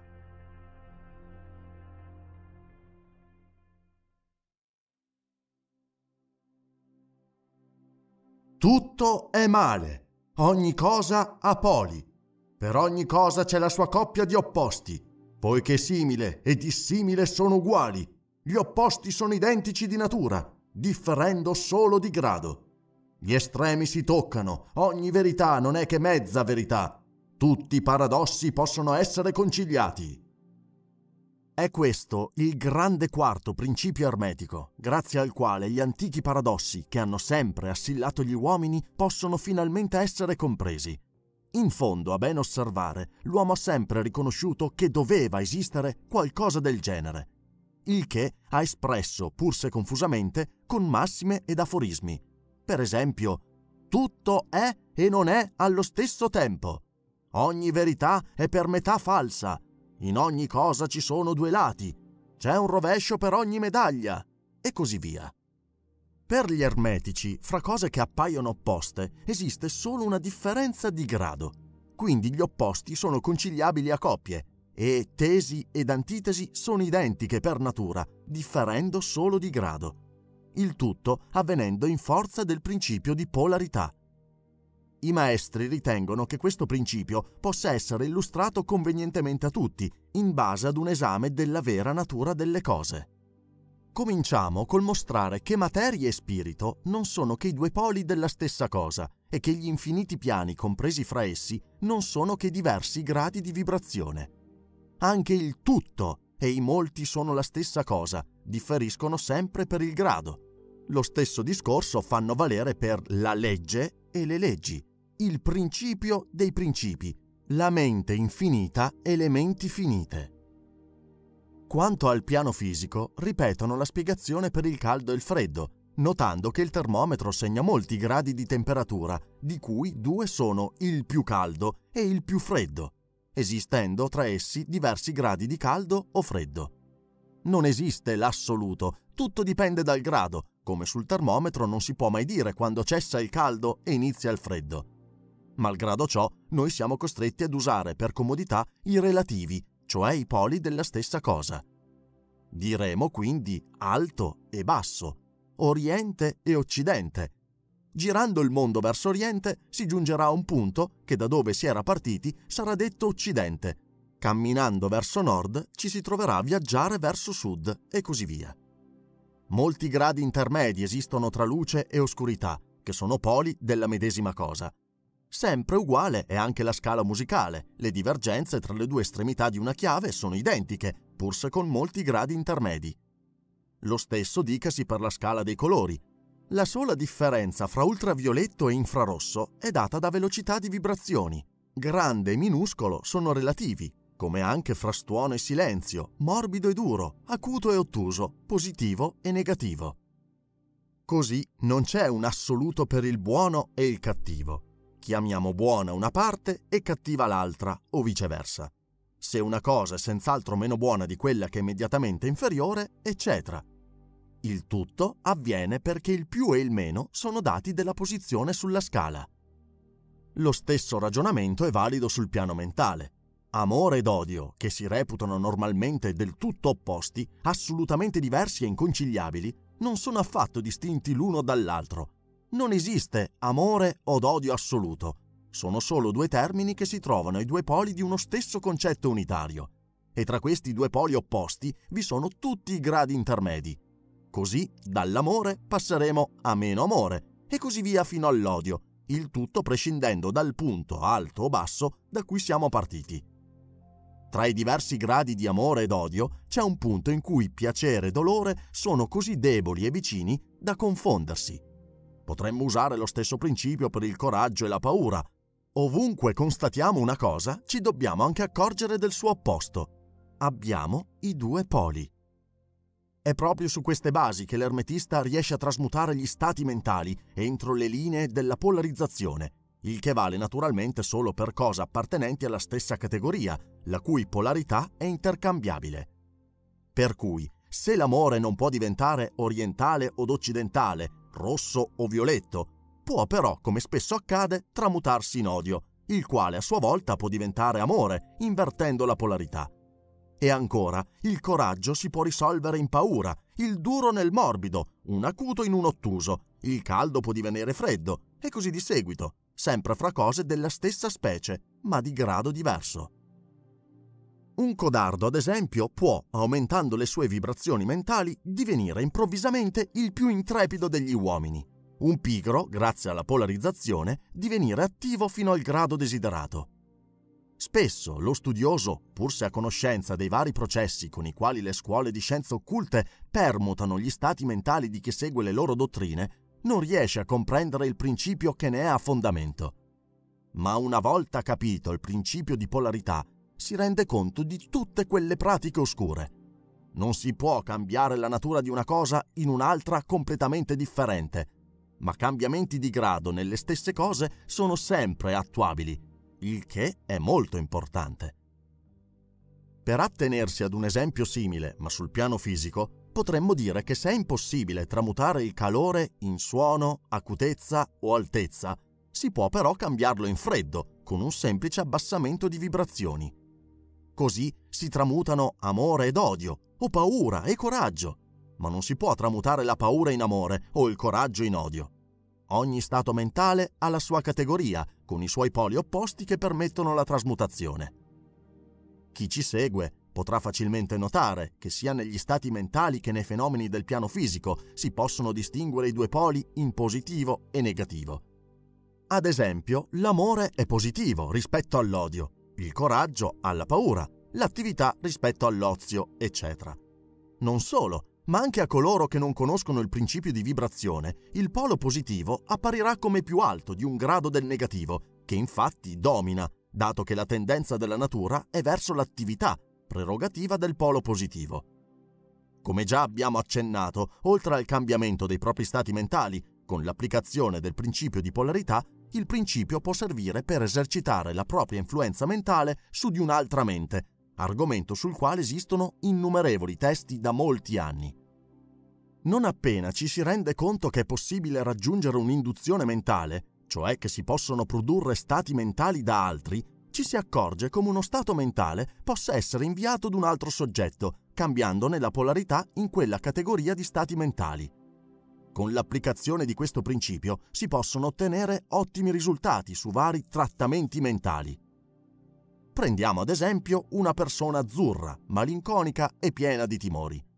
Un cultore di scienza mentale che con opportune vibrazioni di volontà conduce la sua mente al grado di polarizzazione voluto, riesce a comunicare per induzione lo stesso stato mentale su di un'altra persona, facendone elevare le vibrazioni, finché la persona si polarizza sull'estremità positiva della scala, anziché verso la negativa, cambiando contemporaneamente le sue emozioni e paure in coraggio e affini stati mentali. Dedicando molta attenzione al fenomeno, vi potrete rendere conto che questi cambiamenti avvengono quasi tutti sulle linee della polarizzazione, poiché il cambiamento è di grado e non di genere. Conoscere questo grande principio ermetico significa per lo studioso comprendere assai più a fondo i propri e gli altrui stati mentali. Egli noterà altresì che questi stati dipendono tutti dal grado e che può di conseguenza cambiare i suoi stati mentali con un innalzamento o un abbassamento di vibrazione, rendendosi così padrone e non schiavo degli stessi. Inoltre, grazie a questa facoltà, potrà dare un valido aiuto ai suoi simili e mutare, secondo metodi ben precisi, qualora gli sia utile, la polarità. Nostro consiglio per ogni studioso è di approfondire adeguatamente questo principio con grande vantaggio per molte difficili situazioni.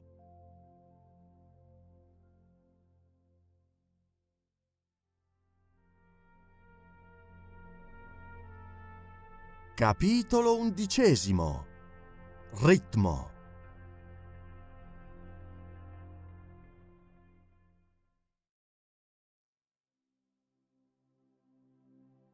Ogni cosa fluisce e rifluisce tutto procede per fasi.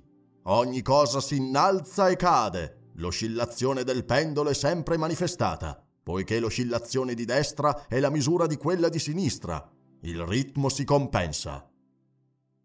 Questo grande principio rende omaggio alla verità che in ogni cosa è presente un movimento ben preciso che si espande in ogni direzione. Un fluire continuo per ogni oscillazione in avanti, una indietro, un moto pendolare, un'alta e bassa marea.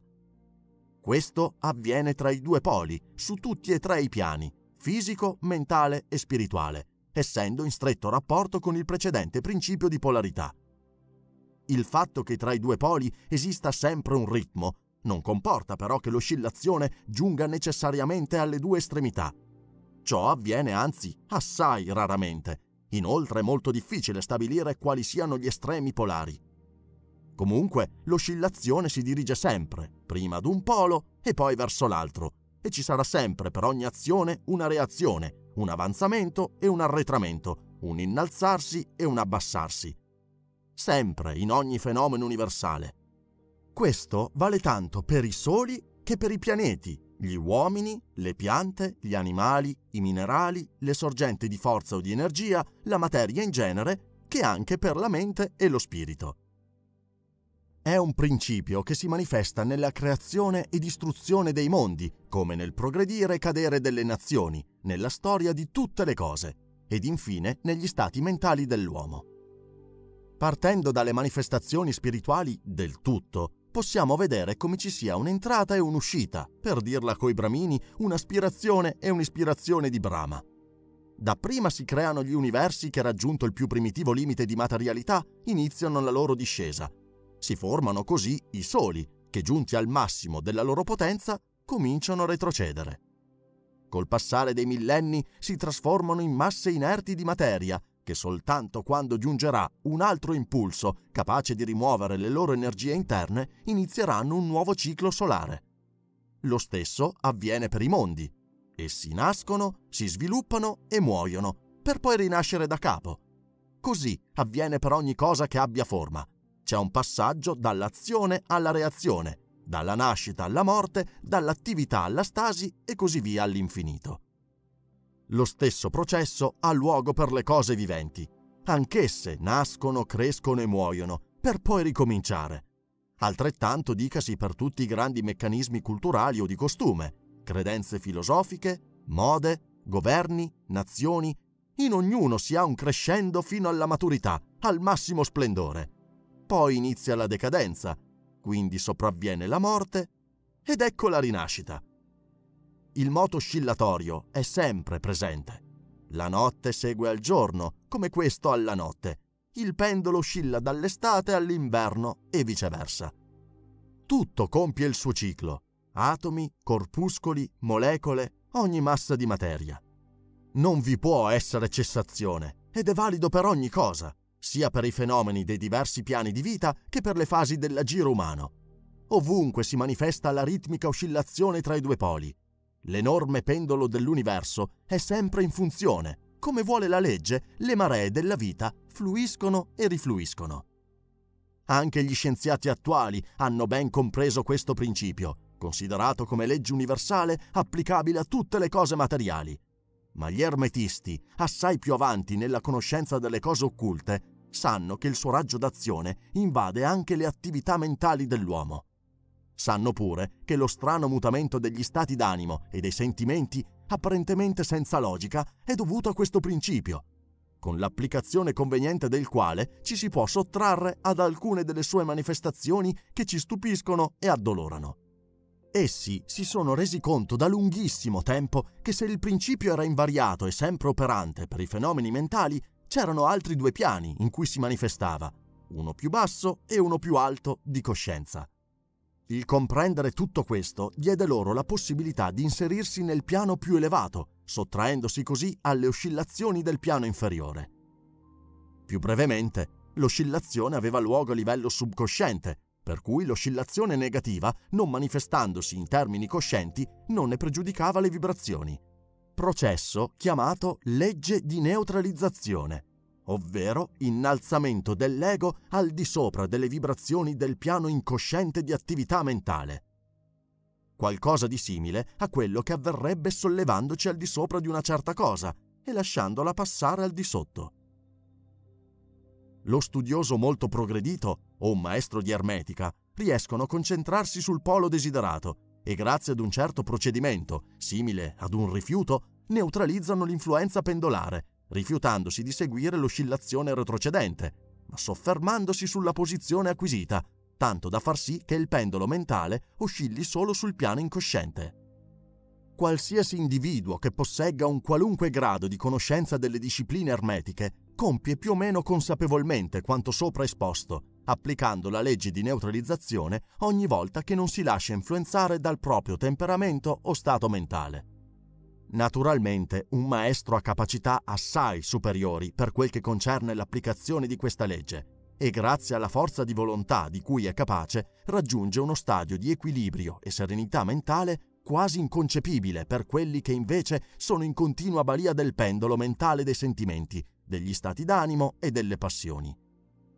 L'enorme importanza di questo procedimento è ben visibile a chiunque sia a conoscenza della varietà contraddittoria dei sentimenti e dell'effimera padronanza di sé che hanno la maggior parte degli uomini.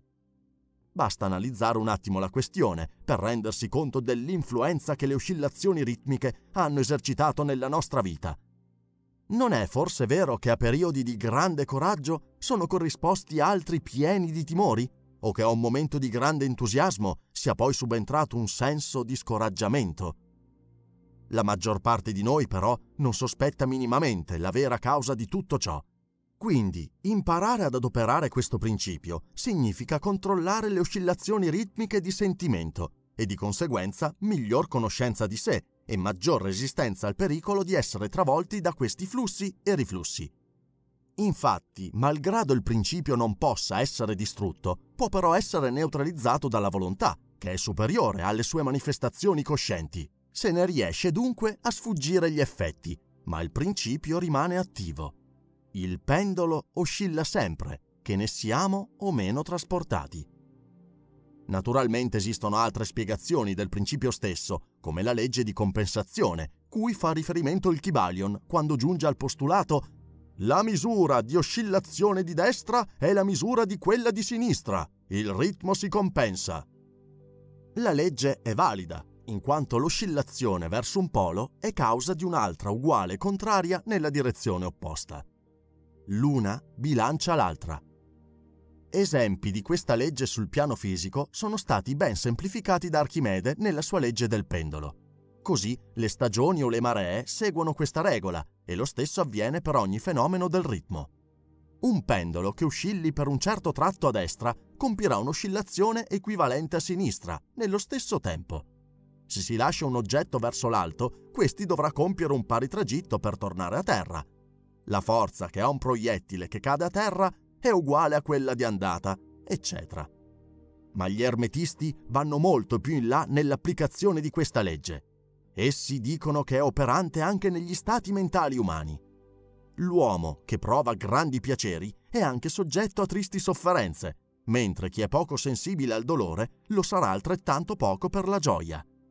Anche i porci, se soffrono poco a causa del ridotto livello intellettivo, non si può dire che godano molto, come d'altra parte alcuni animali che sono capaci di grande godimento sono altrettanto soggetti per la loro indole particolarmente nervosa ad alte punte di dolore. Stesso discorso può farsi per l'uomo.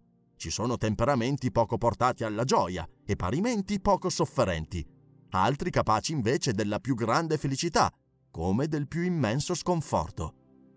Di solito in ogni essere, piacere e dolore si bilanciano, dando piena azione alla legge di compensazione. Ma ancora gli ermetisti vanno oltre. Ci dicono che per provare un certo piacere bisogna prima aver conosciuto proporzionalmente anche l'altro polo ma quel che c'è di più saliente nella loro interpretazione è il fatto che il negativo segua il positivo e non viceversa. Cioè, provare un certo piacere non comporta un subitaneo corrispondente dolore, ma al contrario, nella legge di compensazione, il piacere segue un grado di dolore già passato, o in questa vita o in precedenti incarnazioni, il che apre una nuova dimensione sul concetto di dolore. Se non esistesse la reincarnazione, l'oscillazione ritmica non potrebbe esistere, dato che è incessante. Quindi, per gli ermetici, il susseguirsi di più individui forma parte di un'unica vita. Per sfuggire all'oscillazione verso il dolore, essi ci dicono bisogna applicare quel processo di neutralizzazione innalzandosi ad un piano più alto dell'io, sottraendosi a gran parte delle tristi esperienze di quelli che restano sui piani più bassi. Noi vediamo che questa legge del compenso opera in tutto l'arco di vita dell'uomo. Normalmente ognuno paga il prezzo di quel che ha o non ha. Non si può avere contemporaneamente il denaro e la torta. Ogni cosa piacevole ha un rovescio. Quel che uno raggiunge, un altro lo perde. I ricchi hanno la maggior parte di quello che manca ai poveri, mentre questi hanno a volte cose che i ricchi non possono comprare. Un miliardario, grazie ai suoi averi, se ha tendenza verso le soddisfazioni materiali, può procurarsi cibi più prelibati, ma può anche avere dei disturbi epatici tali da impedirgli di goderne e da fargli invidiare l'appetito e la buona capacità digestiva con cui l'operaio, con grande piacere, prende il suo misero pasto. E così vale per ogni altra cosa nella vita.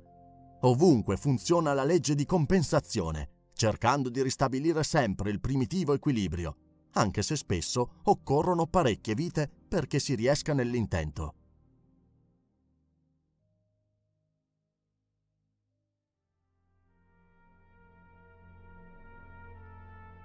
Capitolo dodicesimo Causalità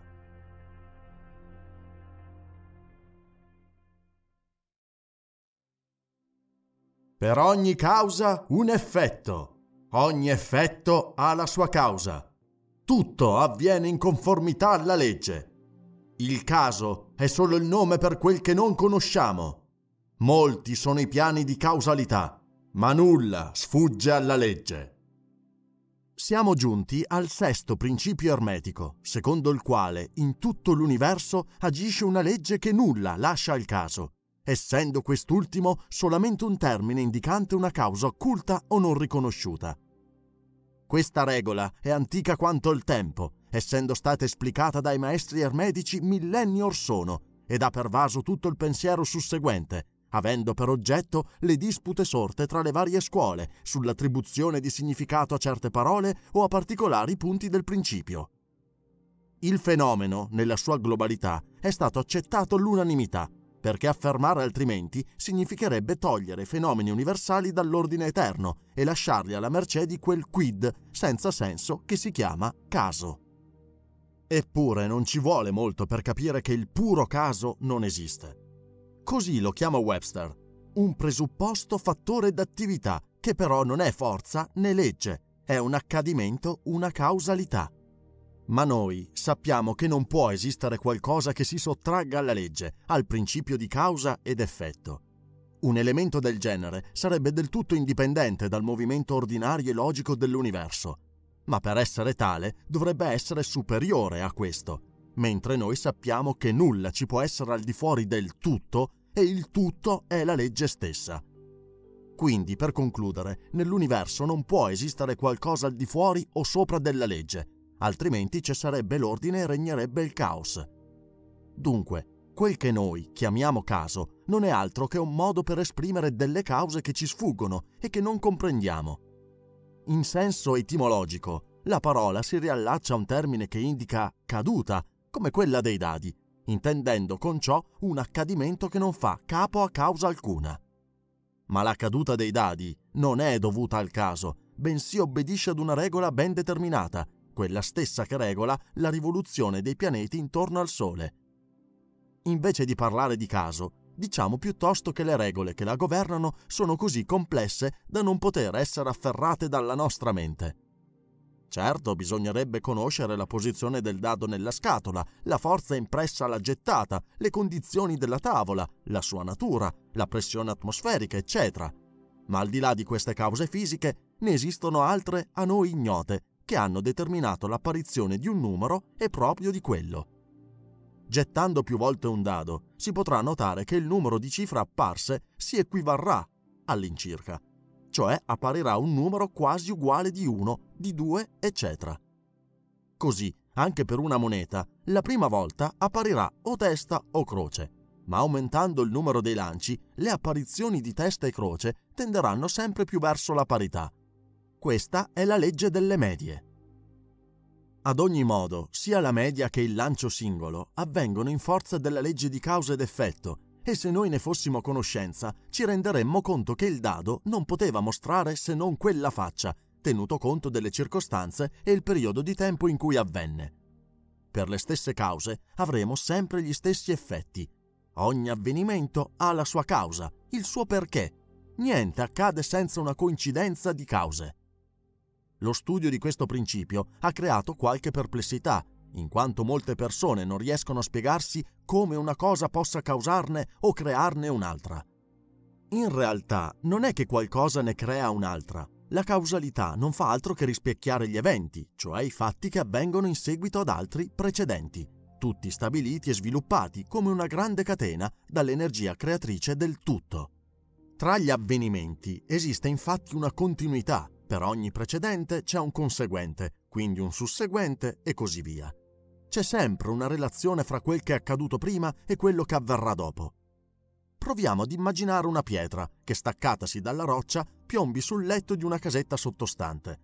Dapprima diremo che ciò è dipeso dal caso, ma esaminando meglio la cosa ci potremo accorgere che molte sono state in realtà le cause.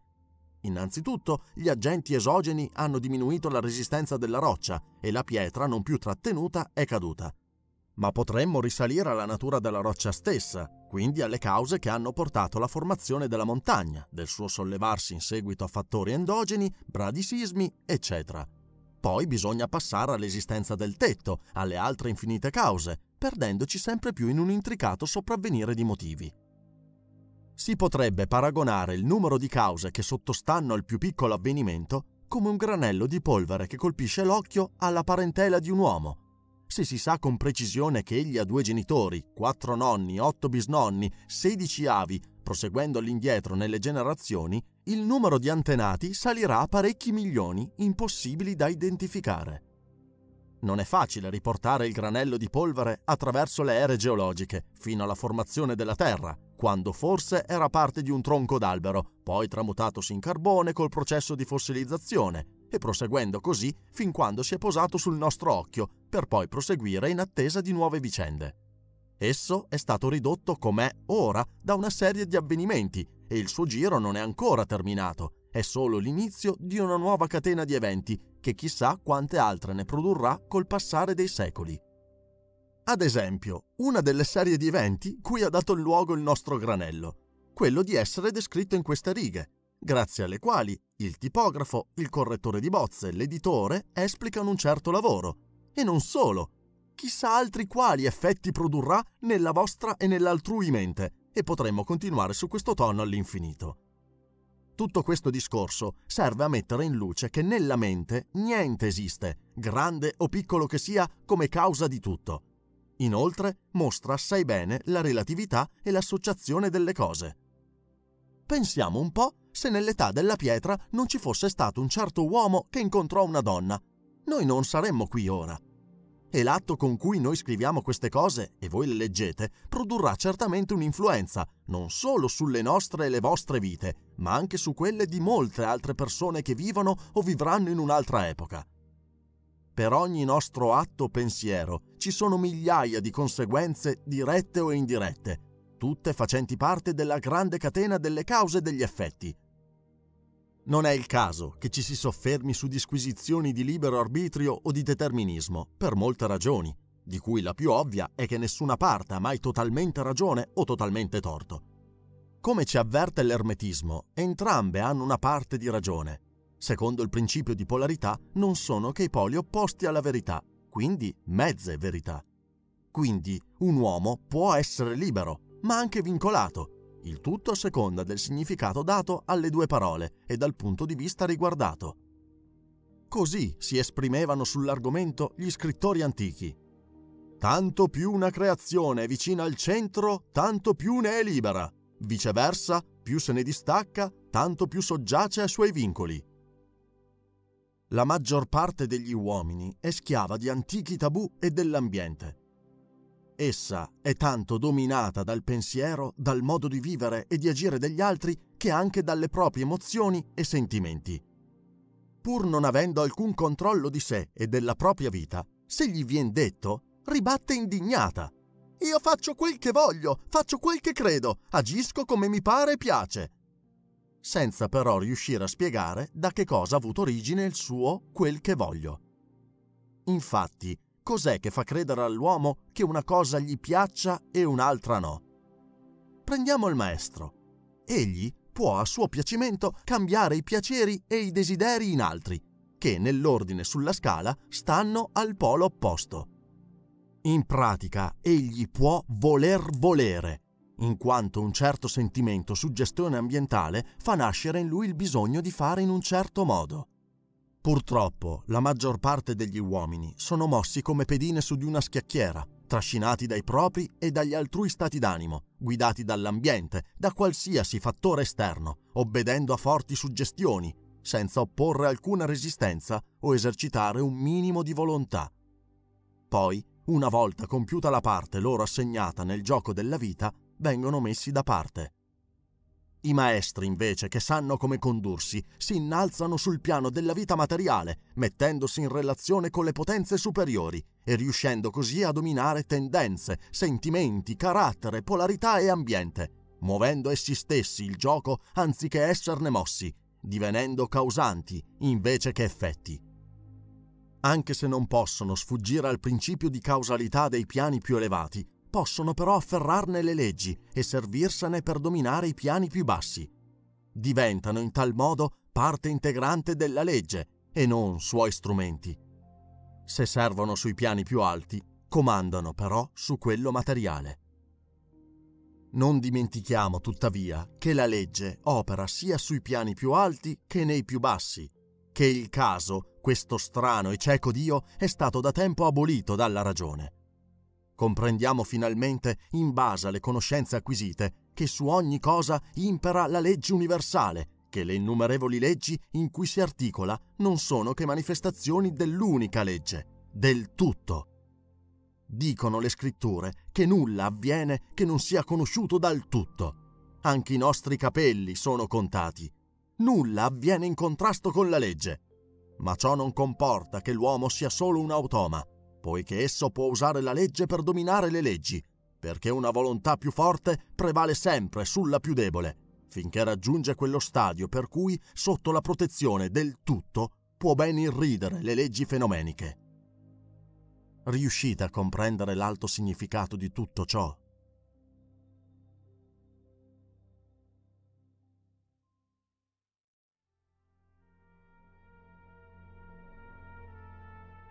Capitolo tredicesimo Genere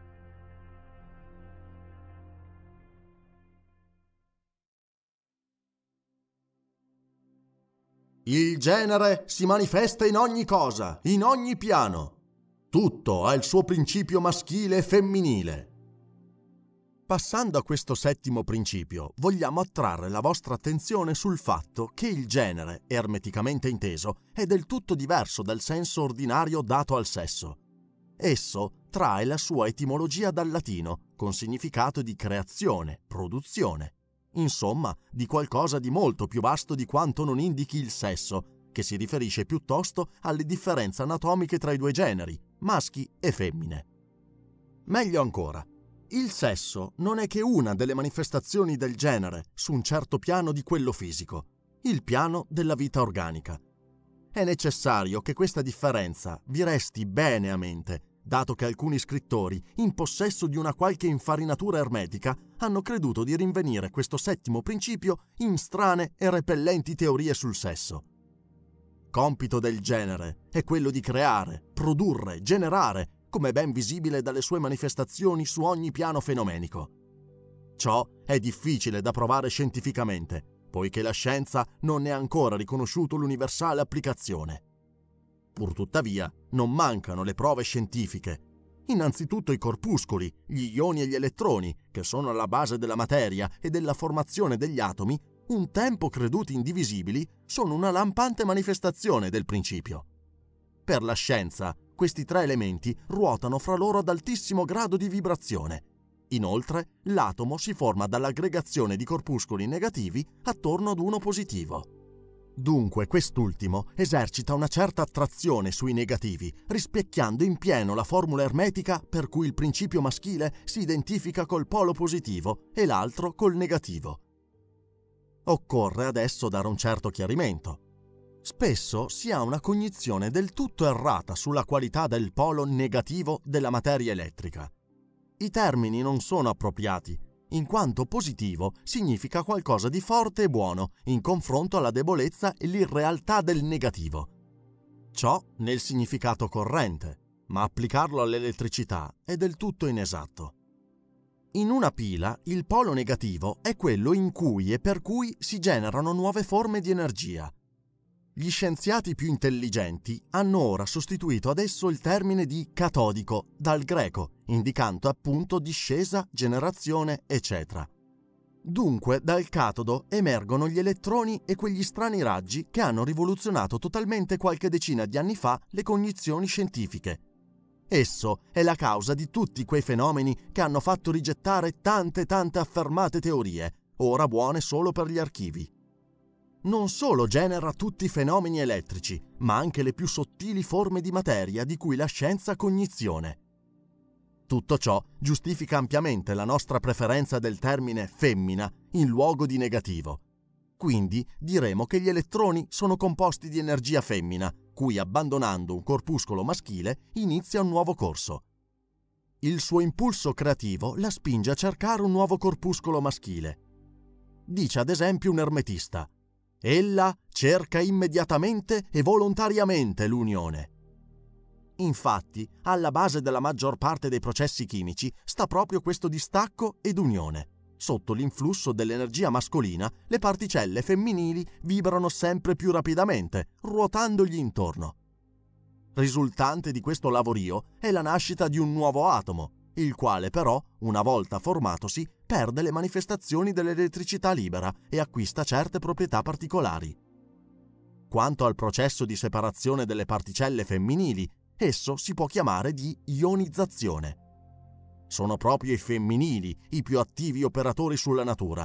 Da essi scaturiscono i fenomeni della luce, del calore, del magnetismo, dell'elettricità, di attrazione o repulsione molecolare, di affinità chimica e simili.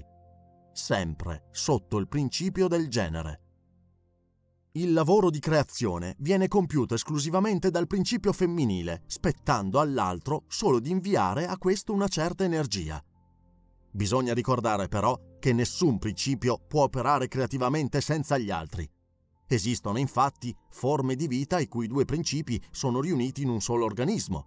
Abbiamo allora un ermafrodito, ma ciò non toglie però che in esso siano presenti ambedue i generi.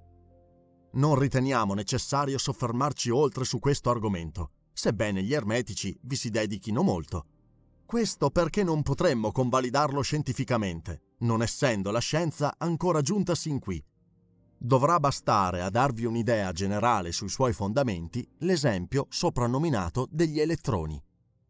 Inoltre, secondo alcuni scienziati, nella formazione dei cristalli si può rinvenire qualcosa di simile all'attività sessuale, il che denota che anche la scienza moderna si accosta sempre di più alle nostre teorie, aggiungendo un sempre maggior numero di prove col passare degli anni. Ecco quindi dimostrato che il principio del genere è in azione incessantemente sia nel campo della materia inorganica che in quello dell'energia o della forza. La stessa elettricità è ora considerata come quel qualcosa in cui paiono mutarsi tutte le altre forme di energia. Questa nuova teoria, diremo elettrica, dell'universo è l'acquisto più nuovo e meglio accolto dalla scienza attuale. Ci riteniamo perciò in diritto di credere che se si può rinvenire alla base dei fenomeni elettrici una chiara manifestazione del principio del genere, questa regola può essere estesa a tutti i fenomeni dell'universo tralasciando di soffermarci su fatti scontati come l'attrazione e repulsione degli atomi, l'affinità chimica, l'attrazione e dispersione molecolare, proviamo però a pensarli come manifestazioni del principio del genere. Non avete notato l'analogia che presentano coi fenomeni degli elettroni?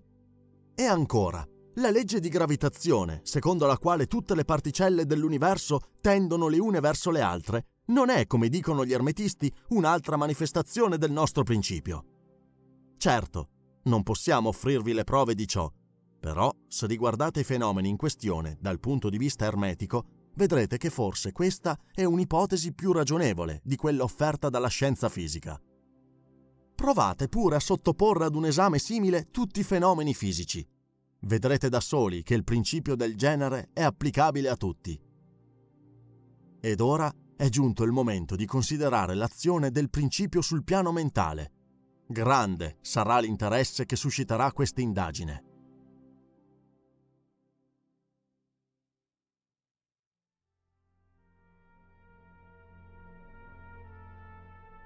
Capitolo quattordicesimo Genere mentale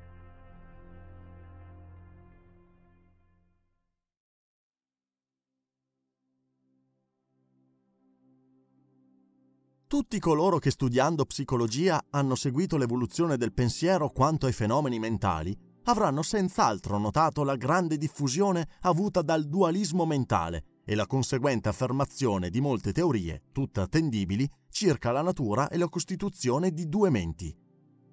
Già nel 1893 Thompson J. Hudson riscosse un enorme successo con la nota teoria delle due menti, l'una oggettiva e l'altra soggettiva, che lui diceva essere presenti in ogni individuo. Altri scrittori hanno invece lanciato il presupposto che esistessero una mente cosciente ed un subcosciente, ottenendo pari fama. Quel che in ultima analisi accomuna però le pur diverse teorie è la base comune della dualità mentale. Naturalmente, il filosofo ermetico non può che sorridere nell'udire queste nuove teorie propugnate da ognuno come se fosse il solo ad aver scoperto una verità, vecchia di secoli. Giungendo infatti ai primordi della storia occulta, egli può trovare mille riferimenti all'antica legge del genere, come essa si manifesta sul piano mentale. Si può spiegarla molto brevemente e chiaramente a quelli che abbiano conoscenza delle moderne teorie su accennate. Basti dire che il principio maschile corrisponde alla mente oggettiva, cosciente ed attiva, mentre il femminile è dato dalla subcosciente involontaria e passiva, ovvero la soggettiva. Gli ermetici però devono rifiutare parecchie concezioni e postulati di queste teorie per quel che riguarda la natura delle due fasi mentali e ritengono molte di esse del tutto infondate. Comunque noi, per facilitare chi legge, accenniamo a quel che hanno in comune. Hudson dice all'inizio di un capitolo sulla sua legge dei fenomeni psichici come certo ricorderete, che il gergo mistico dei filosofi ermetici apre una nuova dimensione, quella della dualità mentale. Se egli si fosse preso la briga di cercare di capire quel gergo mistico, forse avrebbe visto sotto una nuova, più chiara luce l'argomento in questione. Ma allora non avrebbe più scritto quel tanto decantato libro. Ma passiamo ora a descrivere il genere mentale così come ce lo insegnano gli ermetici. Innanzitutto bisogna riguardare attentamente i rapporti della coscienza con il proprio io. Ognuno pensa che è la coscienza a metterlo in rapporto e a conoscenza di esso con il noto idioma io sono. Esaminiamo il problema un po' più a fondo. Queste parole non rispecchiano tutta la realtà. In effetti, noi vediamo che quel io sono lo si può prescindere in due aspetti diversi, che pur operando insieme possono star separati. Abbiamo dunque un io ed un me.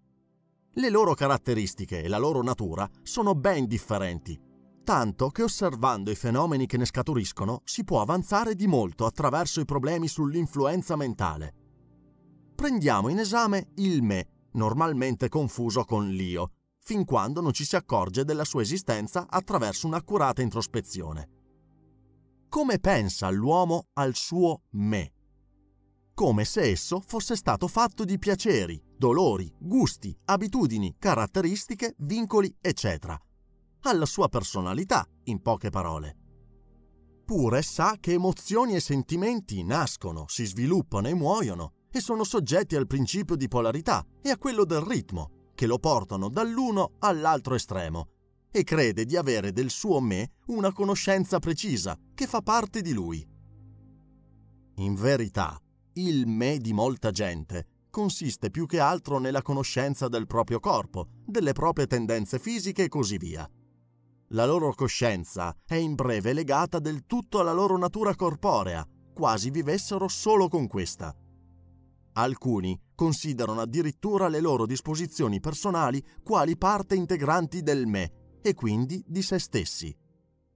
Disse al riguardo un celebre umorista che gli uomini sono fatti di tre cose, l'anima, il corpo e l'abito. Ma anche per quelli che non hanno la fissazione di una veste personale, il corpo è identificato col me. Non riescono a concepire un io distinto dal corpo, quasi che la loro mente fosse un'appartenenza del corpo e non viceversa.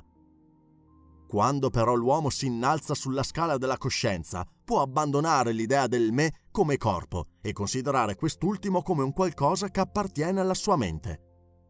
Ma ancora egli identifica il me con gli stati mentali, i sentimenti, eccetera, che si agitano in lui, considerando questi stati esterni come identici a lui e non come prodotti della sua mente, facenti sì parte di lui, ma ben lungi dall'essere lui medesimo. Ma ecco che con uno sforzo di volontà egli riesce a cambiare i suoi stati interni, producendo sentimenti di natura opposta, finché, passato un certo tempo, inizia a mettere da parte queste emozioni e sentimenti, abitudini e qualità, ma non può metterli fra le tante curiosità del non me, poiché ciò richiede una grande concentrazione mentale, che si renderà possibile soltanto dopo molti studi e prove. Ma una volta riuscito nell'intento, il suo io potrà essere osservato nei due aspetti, io e me. Quest'ultimo sarà concepito come qualcosa da cui sono prodotti pensieri, emozioni e sentimenti, idee ed altri mille stati mentali. Sarà quella che anticamente veniva detta la matrice mentale, in possesso di poteri di creazione e di generazione mentale latenti, d'ogni tipo si dice che la sua potenza creatrice sia enorme, ma sembra anche che essa abbia coscienza di ricevere un altro io prima di poter infondere l'essere alle sue creazioni mentali, il che richiede un'enorme capacità mentale e creativa. Ma non è questo che lo studioso cerca nei più profondi recessi della sua coscienza. Egli si rende conto dell'esistenza di qualcosa di mentale che può imporre al me di agire sotto certe linee creative e nello stesso tempo può essere spettatore della sua creazione mentale. Ecco che allora ha scoperto la parte di lui chiamata io. Ora può finalmente riposare nella propria coscienza, sapendo che non si tratta più della consapevolezza della propria abilità nel creare attivamente, nel senso di un processo concernente operazioni mentali, ma piuttosto della capacità di proiettare dall'io al me, creando e continuando un processo di creazione mentale. Inoltre si rende conto che il suo io può isolarsi e osservare la creazione del me. Funzioni queste possibili ad ogni persona. Poiché l'io rappresenta l'aspetto maschile del genere, il me il femminile, il primo sarà l'essere, il secondo il divenire. Come sul grande piano in cui si creano gli universi, anche qui giace il principio di corrispondenza, non differendo i due nella specie, ma come abbiamo più volte accennato, di grado. Considerare questi aspetti mentali in connessione coi noti fenomeni mentali e fisici apre un non indifferente spiraglio nell'oscuro regno delle manifestazioni mentali. Tornando ai nostri due principi, il femminino tende sempre a ricevere delle impressioni, mentre l'altro è sempre volto alla donazione, all'espressione. Quindi il principio femminino ha un campo molto più vasto e svariato che non il mascolino. Ad esso, infatti, spetta il generare nuovi pensieri, concetti ed idee, come pure è di sua competenza tutto il campo dell'immaginazione. Il secondo, invece, è tutto rivolto al rafforzamento della volontà in ogni sua fase. Resta di fatto che senza l'aiuto attivo della volontà fornita da questo principio, il femminino non riesce a produrre creazioni mentali originali, ma soltanto immagini.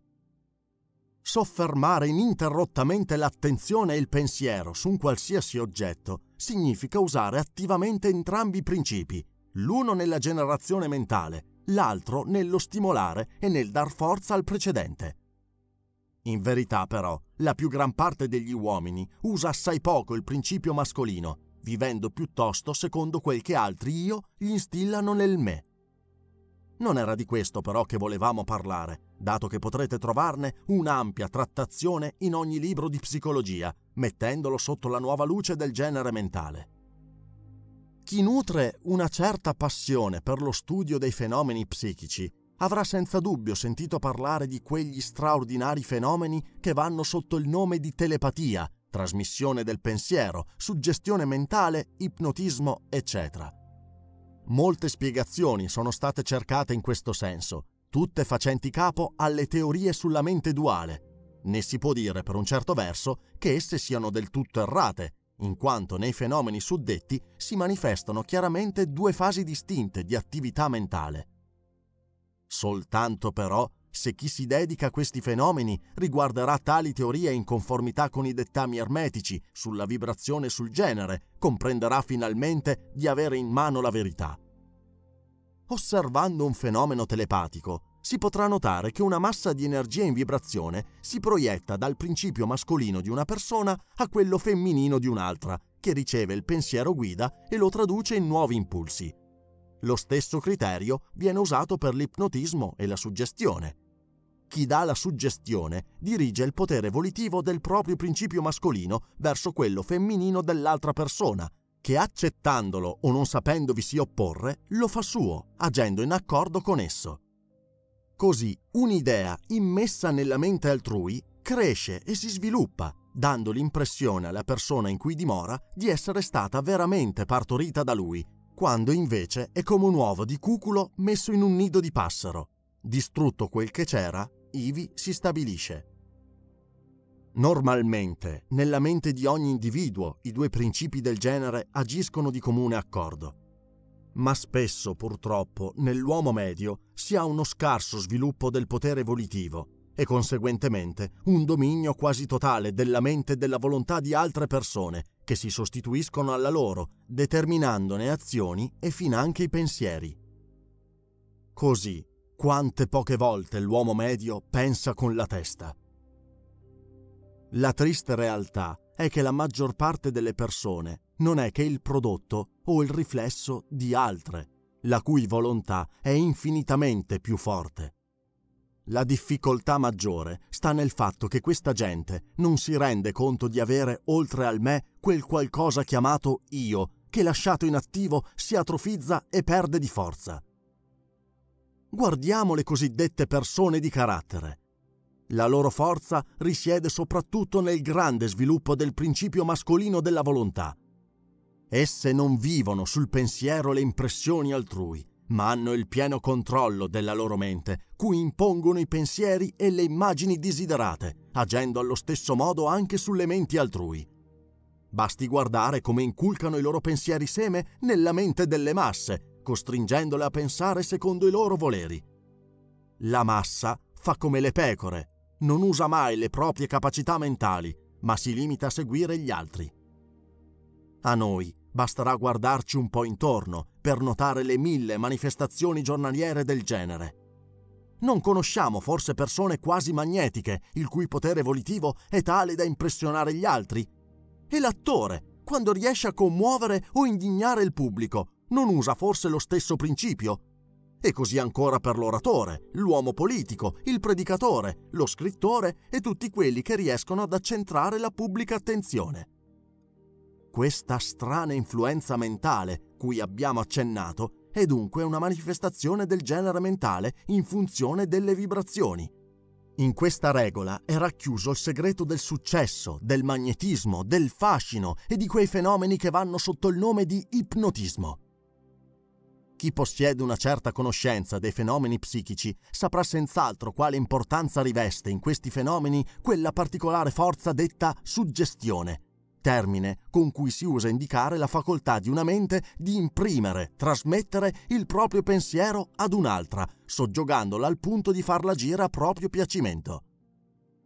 Se assai importante è la conoscenza di questa forza per la comprensione dei fenomeni psichici, ancora più lo sarà quella del genere e della vibrazione, dato che la suggestione dipende proprio da essi. Riguardo alla suggestione, scrittori e psicologi spiegano che è la mente oggettiva, volontaria, a suggestionare la mente soggettiva, involontaria.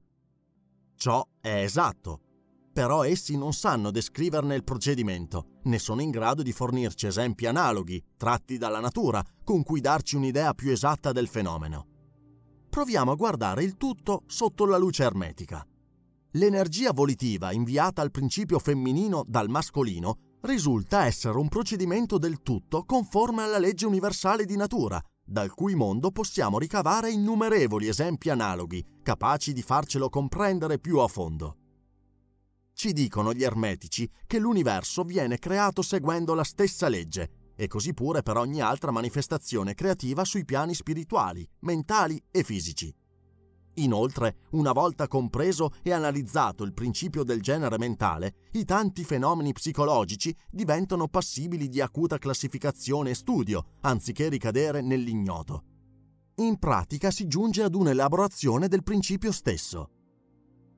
Poiché sull'argomento dell'influenza mentale, di qualsiasi genere, sono stati scritti molteplici testi, di cui alcuni veramente buoni, ci sembra inutile fare una minuziosa descrizione dei fenomeni che ne possono derivare, anche tenuto conto del fatto che i più importanti tra gli avvenimenti descritti nei libri di cui sopra sono reali, malgrado gli scrittori li abbiano spiegati con teorie quantomeno arbitrarie. Ma il nostro lettore, in forza della conoscenza della legge del genere mentale, può riordinare tutte queste teorie e rendersene padrone, se solo ne avrà la voglia. Infatti, noi preferiamo dare, offrire la chiave che apre le varie porte del Tempio del Sapere, piuttosto che dilungarci in un esteso resoconto dei fenomeni psichici.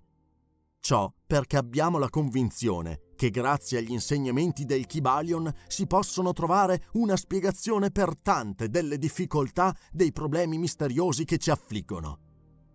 A che serve poi esaminare minuziosamente tutte le caratteristiche dei fenomeni psichici quando si può insegnare ad attuarli. Col Kybalion si possono comprendere tutte le dottrine occulte, poiché tutte possono essere ricondotte ai dettami scaturiti dall'antico Egitto e poi diffusisi in ogni dove.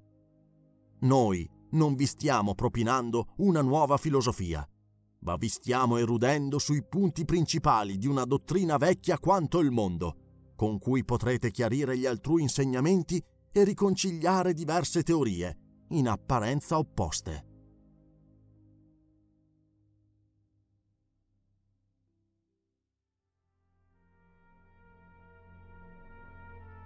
Capitolo quindicesimo Assiomi ermetici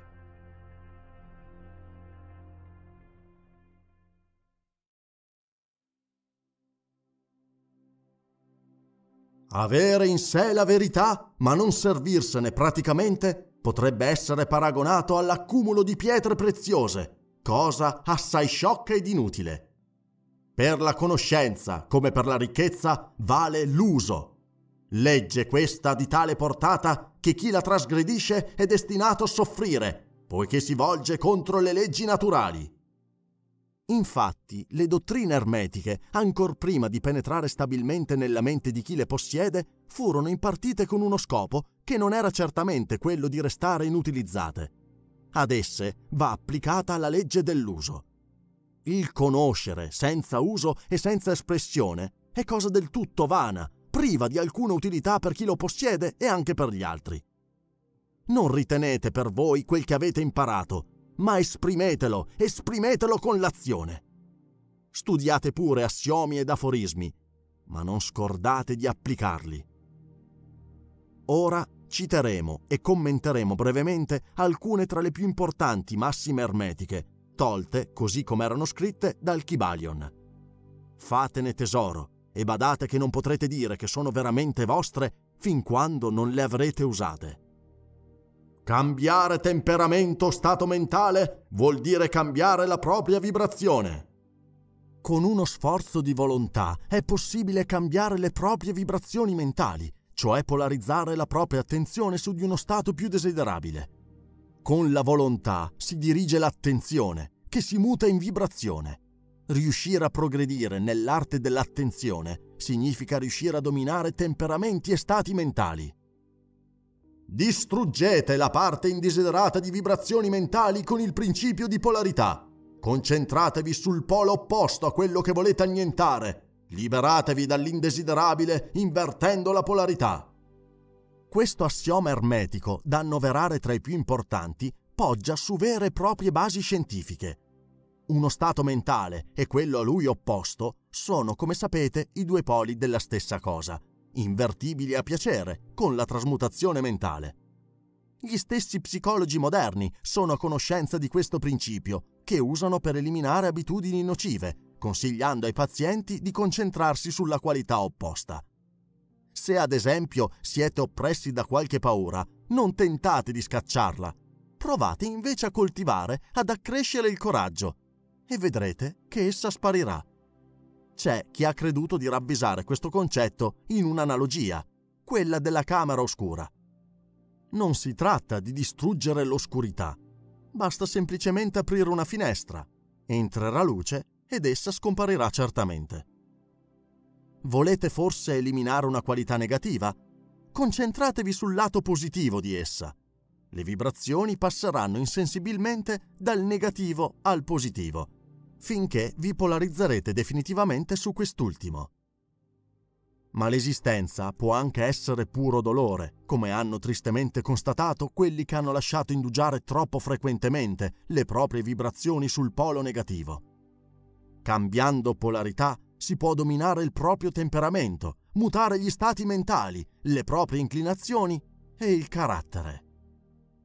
La mente, i metalli, gli elementi possono essere tramutati da stato a stato, grado a grado, condizione a condizione, polo a polo, vibrazione a vibrazione. La padronanza della polarizzazione equivale alla conoscenza dei principi basilari della trasmutazione, ovvero l'alchimia mentale, dato che senza la capacità di invertire la propria polarità non si può esercitare alcuna influenza sugli altri e sull'ambiente. Conoscere questo principio non significa solamente saper cambiare le proprie polarità, ma anche quella degli altri, sempre che si attribuisca a quest'arte tutto il tempo, l'attenzione, le prove necessarie a rendersene padroni. Il principio incorpora una grande verità. Basta saperlo usare con pazienza ed intelligenza. Si può neutralizzare il ritmo con un'adeguata applicazione dell'arte della polarizzazione. Il principio del ritmo, come ormai avrete compreso, si manifesta sia sul piano fisico che su quello mentale, causando, secondo l'oscillazione del pensiero mentale, che va da un estremo all'altro del sentimento, la strabiliante sequenza di emozioni, stati d'animo, sentimenti diversi che ben conosciamo. Sapete anche che con la legge di neutralizzazione è possibile su larga scala dirigere le manifestazioni del ritmo nella coscienza. Questo perché, vi è stato insegnato, oltre al piano di coscienza ordinario ne esiste un altro più elevato, innalzandosi sul quale, mentalmente, si fa sì che l'oscillazione del pendolo mentale si manifesti solo sul secondo. In questo modo, soffermandosi sul piano più alto, ci si sottrae alla sensazione dolorosa che sempre accompagna l'oscillazione a ritroso. Il tutto avviene mediante la polarizzazione dell'io più elevato, che innalza le vibrazioni mentali dell'ego al di sopra della coscienza ordinaria. Come già accennato, tale processo può essere paragonato al sollevarsi al di sopra di una cosa e lasciarla scorrere sotto di noi. Ciò riesce all'ermetista progredito, che soffermandosi sulla sua affermazione di essere, lascia che il pendolo mentale oscilli all'indietro sul piano più basso, evitando con ciò di invertire la sua polarità. Ma pur se in misura minore, può riuscire anche qualsiasi individuo dotato di una forte personalità, sia o meno a conoscenza della legge, mediante il semplice rifiuto di farsi portare indietro dal pendolo delle emozioni. Quel che non va scordato è che il principio del ritmo è indistruttibile. Potete solo vincere una legge controbilanciandola con un'altra, in modo da ottenere l'equilibrio. Niente sfugge al principio di causa ed effetto, anche se molti sono i piani di causalità. Inoltre è possibile usare le leggi del più alto per trionfare su quelle del più basso. Gli ermetisti, innalzandosi ad un alto piano di causalità, divengono causanti anziché causati. Così, con la padronanza dei loro stati d'animo e dei loro sentimenti, neutralizzano il ritmo e sfuggono all'azione della causa e dell'effetto sul piano ordinario. Mentre le masse sono trasportate dall'ambiente, lasciando prevalere gli altrui desideri sui propri, le tare ereditarie, le suggestioni esterne, tanto da vivere come pedine ignare sulla schiacchiera della vita, gli ermetisti, mettendosi al di sopra di tutte queste cause, si creano nuovi caratteri, dominano impulsi e sentimenti ed ottengono così nuove qualità e poteri, dominando l'ambiente e trasformandosi da pedine in giocatori. Resti chiaro però che anche queste persone sono soggette al principio dei piani più alti e devono obbedire alle leggi superiori. Purtuttavia, lo riportiamo, sui piani più bassi essi sono dei dominatori. Né si oppongono al principio, poiché i saggi sanno che comprendere la legge ed aderire ad essa significa metterla in funzione in luogo dell'esserne schiavi un po' come un abile nuotatore, muovendosi a suo piacimento, segue se occorre le onde, piuttosto che essere trasportato da una parte all'altra dai flutti. Chi comprende tutto questo è assai innanzi sul sentiero. Per concludere, vogliamo ancora una volta centrare la vostra attenzione su questa massima. La vera trasmutazione ermetica è un'arte mentale. Con ciò si rende lustro al principio che dice che la grande opera di dominio sul proprio ambiente è fatta grazie alla potenza mentale, quindi esso può essere influenzato solo dalla mentalità. È questa la spiegazione di ogni fenomeno o manifestazione mentale che negli ultimi vent'anni ha suscitato tanto scalpore ed attratto tante persone. Al di là di ogni scuola o dottrina, rimane inalterato nel tempo l'eccelso principio della sostanza mentale dell'universo. Se è vero, come è vero, che la natura dell'universo è mentale, la trasmutazione mentale deve poterne cambiare stati e fenomeni. E la mente deve essere la sovrana incontrastata di ogni sua manifestazione. Comprendete questo, e i miracoli e i prodigi non vi sembreranno più tali. Il tutto è mente. L'universo è mentale. Il Kybalion.